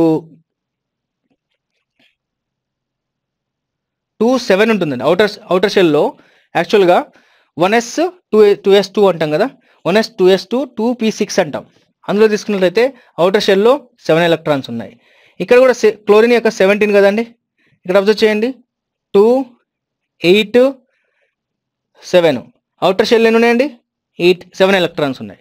ఇలా అన్నిటిలో కూడా మనకు సెవెన్ ఎలక్ట్రాన్స్ ఎందులో ఉన్నాయండి? హాలోజన్స్లో ఉన్నాయి. ఇక్కడ అడిగిన క్వశ్చన్ ఏంటండి? Halogens next question which are the following plant groups results in పాలిన pollination అన్నాడండి. అంటే పాలినేషన్ ఎందులో జరుగుతుంది అన్నాడండి. ఇక్కడ అబ్జర్వ్ చేయండి. టెరిడోఫైటా టాలోఫైటా బ్రయోఫైటా ఇవన్నీ ఏంటండి? క్రిప్టోగ్యామ్స్ అంటాం. క్రిప్టోగ్యామ్స్ అంటే పుష్పించదు. క్రిప్టోగ్యామ్స్లో ఫ్లవర్స్ ఉండవండి. క్రిప్టో గ్యామ్స్ ఫ్లవర్స్ ఉండవు. ఫ్లవర్స్ ఉండవు. ఇందులో ఫెనరోగ్రామ్స్ అంటాం. పుష్పించే మొక్కలు. ఫెనరో గ్రామ్స్ ఫెనరోగ్రామ్స్ అనుకోవచ్చు. ఇందులో అంటే ఫ్లవర్స్ ఉంటాయి. వీటిలో ఫ్లవర్స్ ఉంటాయి. ఫ్లవర్స్ ఉంటేనే కదా ఫ్లా పాలినేషన్ జరిగేది. మరి ఫ్లవర్స్ లేకుండా పాలినేషన్ ఎలా జరుగుతుందండి? అంటే ఫ్రెడోఫైటాలో తాలోఫైటాలో బ్రయోఫైటాలో ఫ్లవర్స్ ఉండవు పాలినేషన్ జరగదు. యాంజియోస్పామ్స్లో ఫ్లవర్స్ ఉంటాయి పాలినేషన్ జరుగుతుంది. అంటే మనకి ఇక్కడ సింపుల్గా యాంజియోస్పామ్స్ అంటే ఫ్లవర్ బియరింగ్ ప్లాంట్స్ అని చెప్పడం కోసం ఈ question అడిగాడండి. Angiosperms are nothing but flower bearing plants. The combination of two or more cells in a ఈ స్కాల్ అన్నాడండి. అంటే టూ ఆర్ మోర్ సెల్స్ బ్యాటరీస్లో మనకి ఎక్కువగా ఏంటంటే సింపుల్ ఎలక్ట్రిక్ సంబంధించిందండి ఫ్యూజ్ కాదు బల్బ్ కాదు స్విచ్ కాదు ఇక్కడ బ్యాటరీనే అవుతుందండి. ఇలా ఉందనుకుందాం.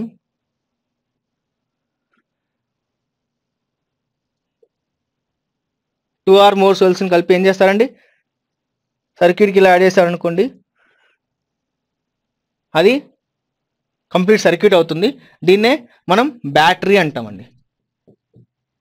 బ్యాటరీ. నెక్స్ట్ చూడండి. What is the sum of the kinetic energy and potential energy of an object అన్నాడండి. డెఫినేషన్ అడుగుతున్నాడండి. కైనటిక్ ఎనర్జీ పొటెన్షియల్ ఎనర్జీ సమ్ని మనం ఏమంటామని అడిగండి. ఇక్కడ కైనటిక్ ఎనర్జీ అని ఇచ్చాడు. ఆల్రెడీ కైనటిక్ ఎనర్జీ సమ్ని కైనటిక్ ఎనర్జీ అంటే ఎలా అంటారండి? కాదు. ఎలక్ట్రికల్ ఎనర్జీ అన్నారు కదండి? కాదు. గ్రావిటేషనల్ ఎనర్జీ అన్నారు అది డిఫరెంట్ కదండి. మనకు ఉన్నది ఒకటే గుర్తుపెట్టుకోండి. మెకానికల్ ఎనర్జీ అంటే మనకు యాంత్రిక శక్తి అంటారండి దీన్ని. యాంత్రిక శక్తి mechanical energy is nothing but యాంత్రిక శక్తి. దేనికి సమానం అండి? స్థితిజ శక్తి మరియు గతిజ శక్తి. పొటెన్షియల్ ఎనర్జీ ప్లస్ కైనటిక్ ఎనర్జీకి ఈక్వల్ అవుతుందండి. మెకానికల్ ఎనర్జీ ఓకే సింపుల్ అండి ఇది. ఆప్షన్ వన్ ఆప్షన్ వన్ అవుతుందండి. నెక్స్ట్ చూడండి. Flowers have a female reproductive organs a ఫ్లవర్స్లో అంటే ఆ ఫ్లవర్స్లో ఉన్న ఫిమేల్ రిప్రొడక్టివ్ పార్ట్స్ ఏంటండి ఇక్కడ అబ్జర్వ్ చేయండి. మనకు ఫ్లవర్ సంబంధించి మేల్ రిప్రొడక్టివ్ పార్ట్స్ ఉంటాయి ఫిమేల్ రిప్రొడక్టివ్ పార్ట్స్ ఉంటాయి. ఒకవేళ ఫ్లవర్ చూసామనుకోండి మనకు గ్రీన్ కలర్లో కింద ఫ్లవర్ కింద బడ్ కింద ఉండే వాటిని మనం సెపల్స్ అంటారండి. రక్షక పత్రావళి అంటాం. సెపల్స్ అంటాం. అంటే ఫ్లవర్కి కింద గ్రీన్ కలర్లో ఉంటాయి కదా? వాటిని సెపల్స్ అంటే అవి రక్షక పత్రాలు. ఫ్లవర్ని ప్రొటెక్ట్ చేస్తాం ఈ తెల్లగా కలర్లో వైట్ కలర్ కానీ రెడ్ కలర్ కానీ ఇలా ఉంటుంది కదా? దాన్ని పెటల్స్ అంటారు. పెటల్స్ ఇవి అట్రాక్ట్ చేయడం కోసం ఇన్సెక్ట్స్ కానీ పాలినేషన్ కోసం వాటిని అట్రాక్ట్ చేయడం కోసం ఉండేవి పెటల్స్ వీటిలో ఇక్కడ ఫిమేల్ రిప్రొడక్టివ్ పార్క్ ఈ ఫిమేల్ రిప్రొడక్టివ్ పార్స్ ఓవరీ అనుకుందాం. ఓవరీ ఇలా ఉందనుకుందాం. ఓకే దీన్ని ఓవరీ అనుకుంటే ఫిమేల్ రిప్రొడక్టివ్ బీజాశయం అండాశయం అంటాం. అండాశయంలో ఓవరీ దీన్ని స్టైల్ అంటాం. స్టిగ్మా అంటారు. Style stigma. ఈ రెండింటిని కలిపి మనం స్టైల్ని స్టిగ్మాని కలిపి పిస్టిల్ అంటారండి. పిస్టిల్ అంటే ఏంటంటే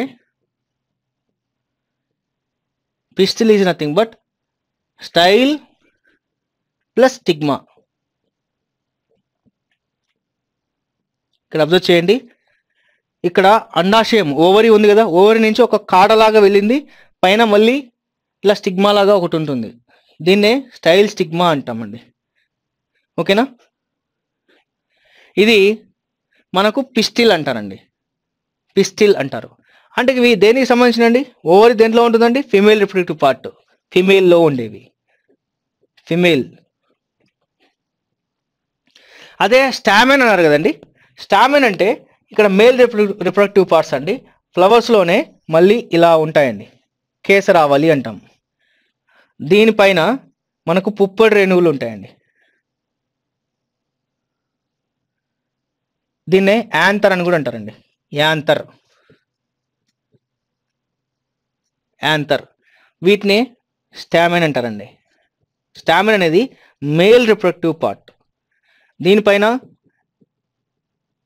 పుప్పడి రేణువులు ఉంటాయి. పోలన్ గ్రెయిన్స్ ఉంటాయి. ఈ పోలన్ గ్రెయిన్స్ గాలి నుంచి కానీ ఏదో విధంగా ఇక్కడ నుంచి ఇక్కడ ఉన్న ఫిమేల్ రిప్రొడక్టివ్ పార్ట్ పైన పడడాన్నే మనం పాలినేషన్ అంటారు. పాలినేషన్. సం పరాగ సంపర్కం పరపరాగ సంపర్కం అని ఎలా డిస్కస్ చేస్తాం కదండి. ఇందులో స్టామిన్ అనేది మేల్ రిప్రొడక్టివ్ పార్ట్ అండి. మేల్ పార్ట్ ఓకేనండి? ఇక్కడ అబ్జర్వ్ చేయండి. స్త్రీ పునరుత్పత్తి అవయవాలను కలిగి ఉంటాయని అంటే ఇక్కడ ఏమవుతుందండి? పిస్టిల్ అవుతుందండి. పిస్టిల్ ఏముంటాయి? స్టైలు మరియు స్టిగ్మా ఉంటుంది. అంటే ప్లాంట్స్లో ఇలా ఉన్న ఈ స్టైలు స్టిగ్మా రెండింటిని ఓవర్ని కలిపి మనం ఫిమేల్ రిప్రొడక్టివ్ పార్ట్స్ తీసుకుంటే స్టైల్ స్టిగ్మాని మనం పిస్టిల్ అంటారండి. ఓకేనండి? చాలా సింపుల్ అండి ఇది. నెక్స్ట్ రండి. Which of the following indicator shows different colours at different concentrations of hydrogen ions in a solution అన్నాడండి. కింది ఏ సూచికల ద్రావణంలో హైడ్రోజన్ యాన్లో వివిధ సాంద్రతలో వివిధ రంగులు కనిపిస్తాయి అన్నాడండి ఇక్కడ ఏంటంటే ఇండికేటర్ సంబంధించి కెమిస్ట్రీకి సంబంధించిన క్వశ్చన్ అండి. యాసిడ్ బేసెస్ సంబంధించిలో ఇందులో ఇయాసిన్ అనేది ఒక జస్ట్ ఒక కలర్ పిగ్మెంట్ అండి. అది దానికి సంబంధించింది లేదు. ఆల్ ఫ్యాక్టరీ అంటే మనం కెమికల్ స్మెల్ని చూడడం కోసం మన నోస్లో ఉన్న ఒక గ్రాహకాలు అవి గ్రహణ గ్రాహకాలు అంటారు. అంటే స్మెల్ని అబ్జర్వ్ చేయడం కోసం. స్మెల్ని బట్టి చెప్పలేము. ఇక్కడ రియాక్టర్లు ఫినాప్తలిన్ అనేది మనకు ఒక ఇండికేటర్ అండి. ఇది బేస్తో రియాక్ట్ అయింది అనుకోండి బేస్తో రియాక్ట్ అయితే if phenolphthalein when substance gives base అయితే అప్పుడు మనకు పింక్ కానీ రెడ్ కలర్ కానీ మారుతుందండి. పింక్ ఆర్ రెడ్ కలర్లో మారుతుంది. ఓకేనండి?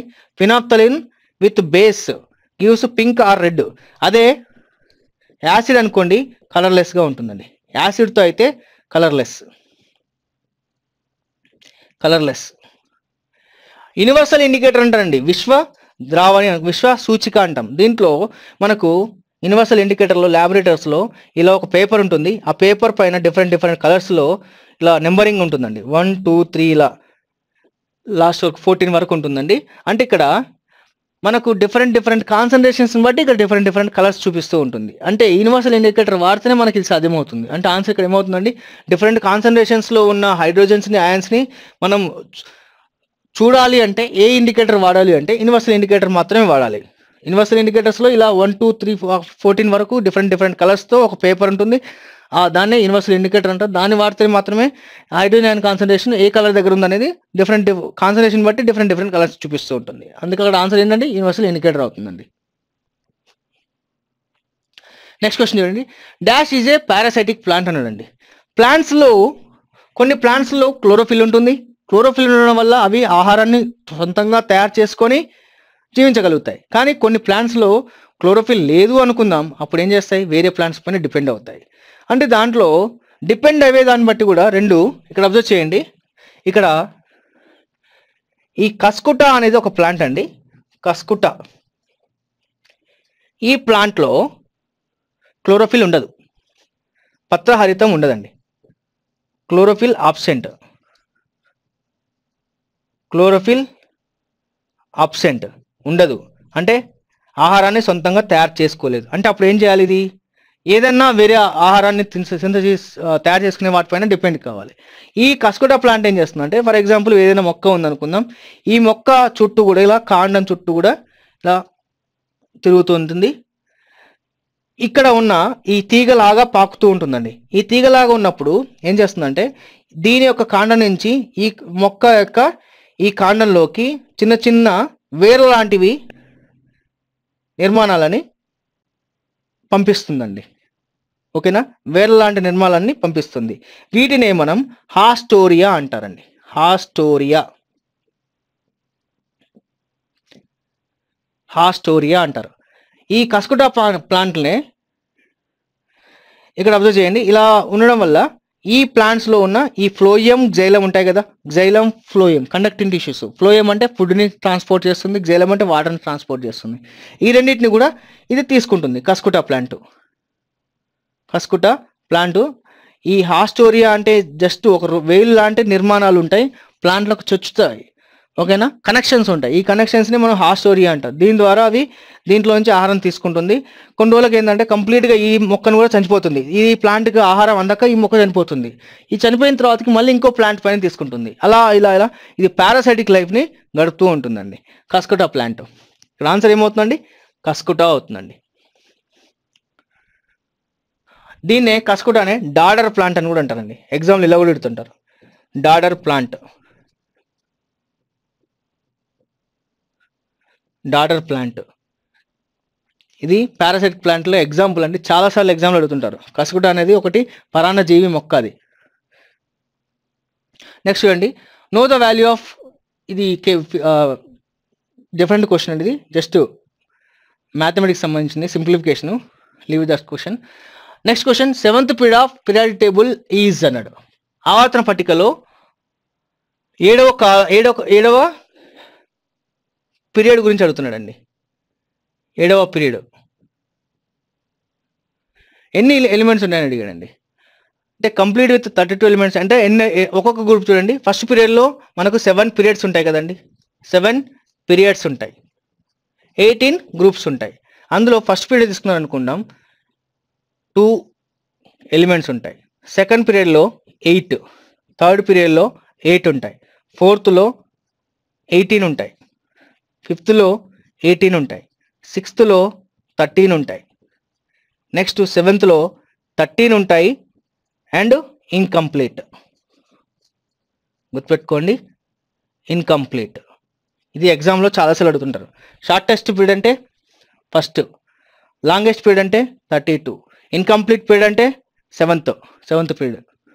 ఎగ్జామ్లో చాలాసార్లు అడిగారండి incomplete with thirty two elements అనాలి. ఆప్షన్ నెంబర్ త్రీ అవుతుందండి.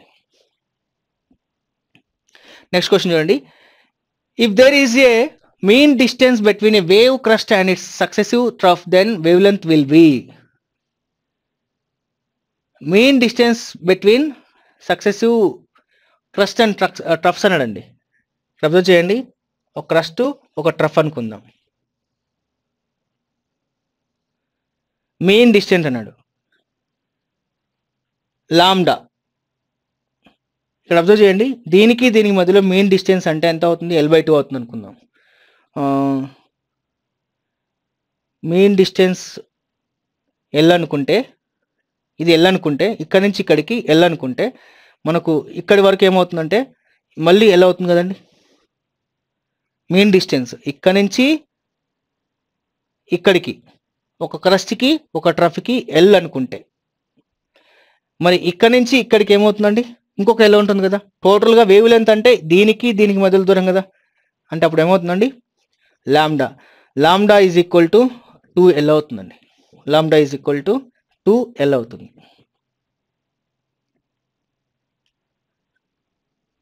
నెక్స్ట్ క్వశ్చన్ చూడండి. Which of the following is wrong about metals అన్నాడండి. మెటల్స్ సంబంధించి ఏది తప్పు? స్టేట్మెంట్ అన్నాడండి. అండ్ ఇక్కడ they are tensile and attacking. అని టెన్సైల్ అంటే వాటిని బెండ్ చేయొచ్చు కొంచెం సాగదీయవచ్చు ఇలాంటి చేయొచ్చు కదండి. అంటే టెన్సైల్ అటాకింగ్ అవి దృఢంగా ఉంటాయి చెప్పాలంటే. నెక్స్ట్ చూడండి. They have high melting and boiling point. అవును కరెక్టే అండి ఇది. ఎందుకంటే metals when compared with non metals they have high melting and boiling points. వాటి యొక్క ద్రవీభవన స్థానం కానీ ఘనీభవన స్థానం కానీ ఇవి మెటల్స్కి నాన్ మెటల్స్తో కంపేర్ చేసినప్పుడు అలోహాలతో కంపేర్ చేసినప్పుడు ఎక్కువగా ఉంటుందండి. They are good conducts of conductors of heat and electricity అది కూడా కరెక్టేనండి మనకు ఐరన్ కాపరు సిల్వరు ఇలాంటివన్నీ కూడా ఎక్కువ హీట్ని కండక్ట్ చేస్తాయి. అదేవిధంగా హీట్ని కూడా హీట్ని ఎలక్ట్రిసిటీని రెండింటిని కూడా ట్రాన్స్పోర్ట్ చేస్తాయి కండక్ట్ చేస్తాయి. They are electro electrically negative అన్నాడండి. నాన్ మెటల్స్ ఎక్కువగా ఎలక్ట్రికలీ నెగిటివ్ అండి. మెటల్స్ అనేవి ఎలక్ట్రికల్లీ పాజిటివ్ ఉండాలండి ఇక్కడ. ఎలక్ట్రికల్లీ పాజిటివ్ ఉండాలి. మెటల్స్ ఆర్ ఎలక్ట్రికల్లీ పాజిటివ్ అండి. Non metals electrically negative. మరి ఇక్కడ ఆన్సర్ ఏమవుతుందండి? రాంగ్ అన్నాడు కాబట్టి ఫోర్త్ స్టేట్మెంట్ అవుతుందండి.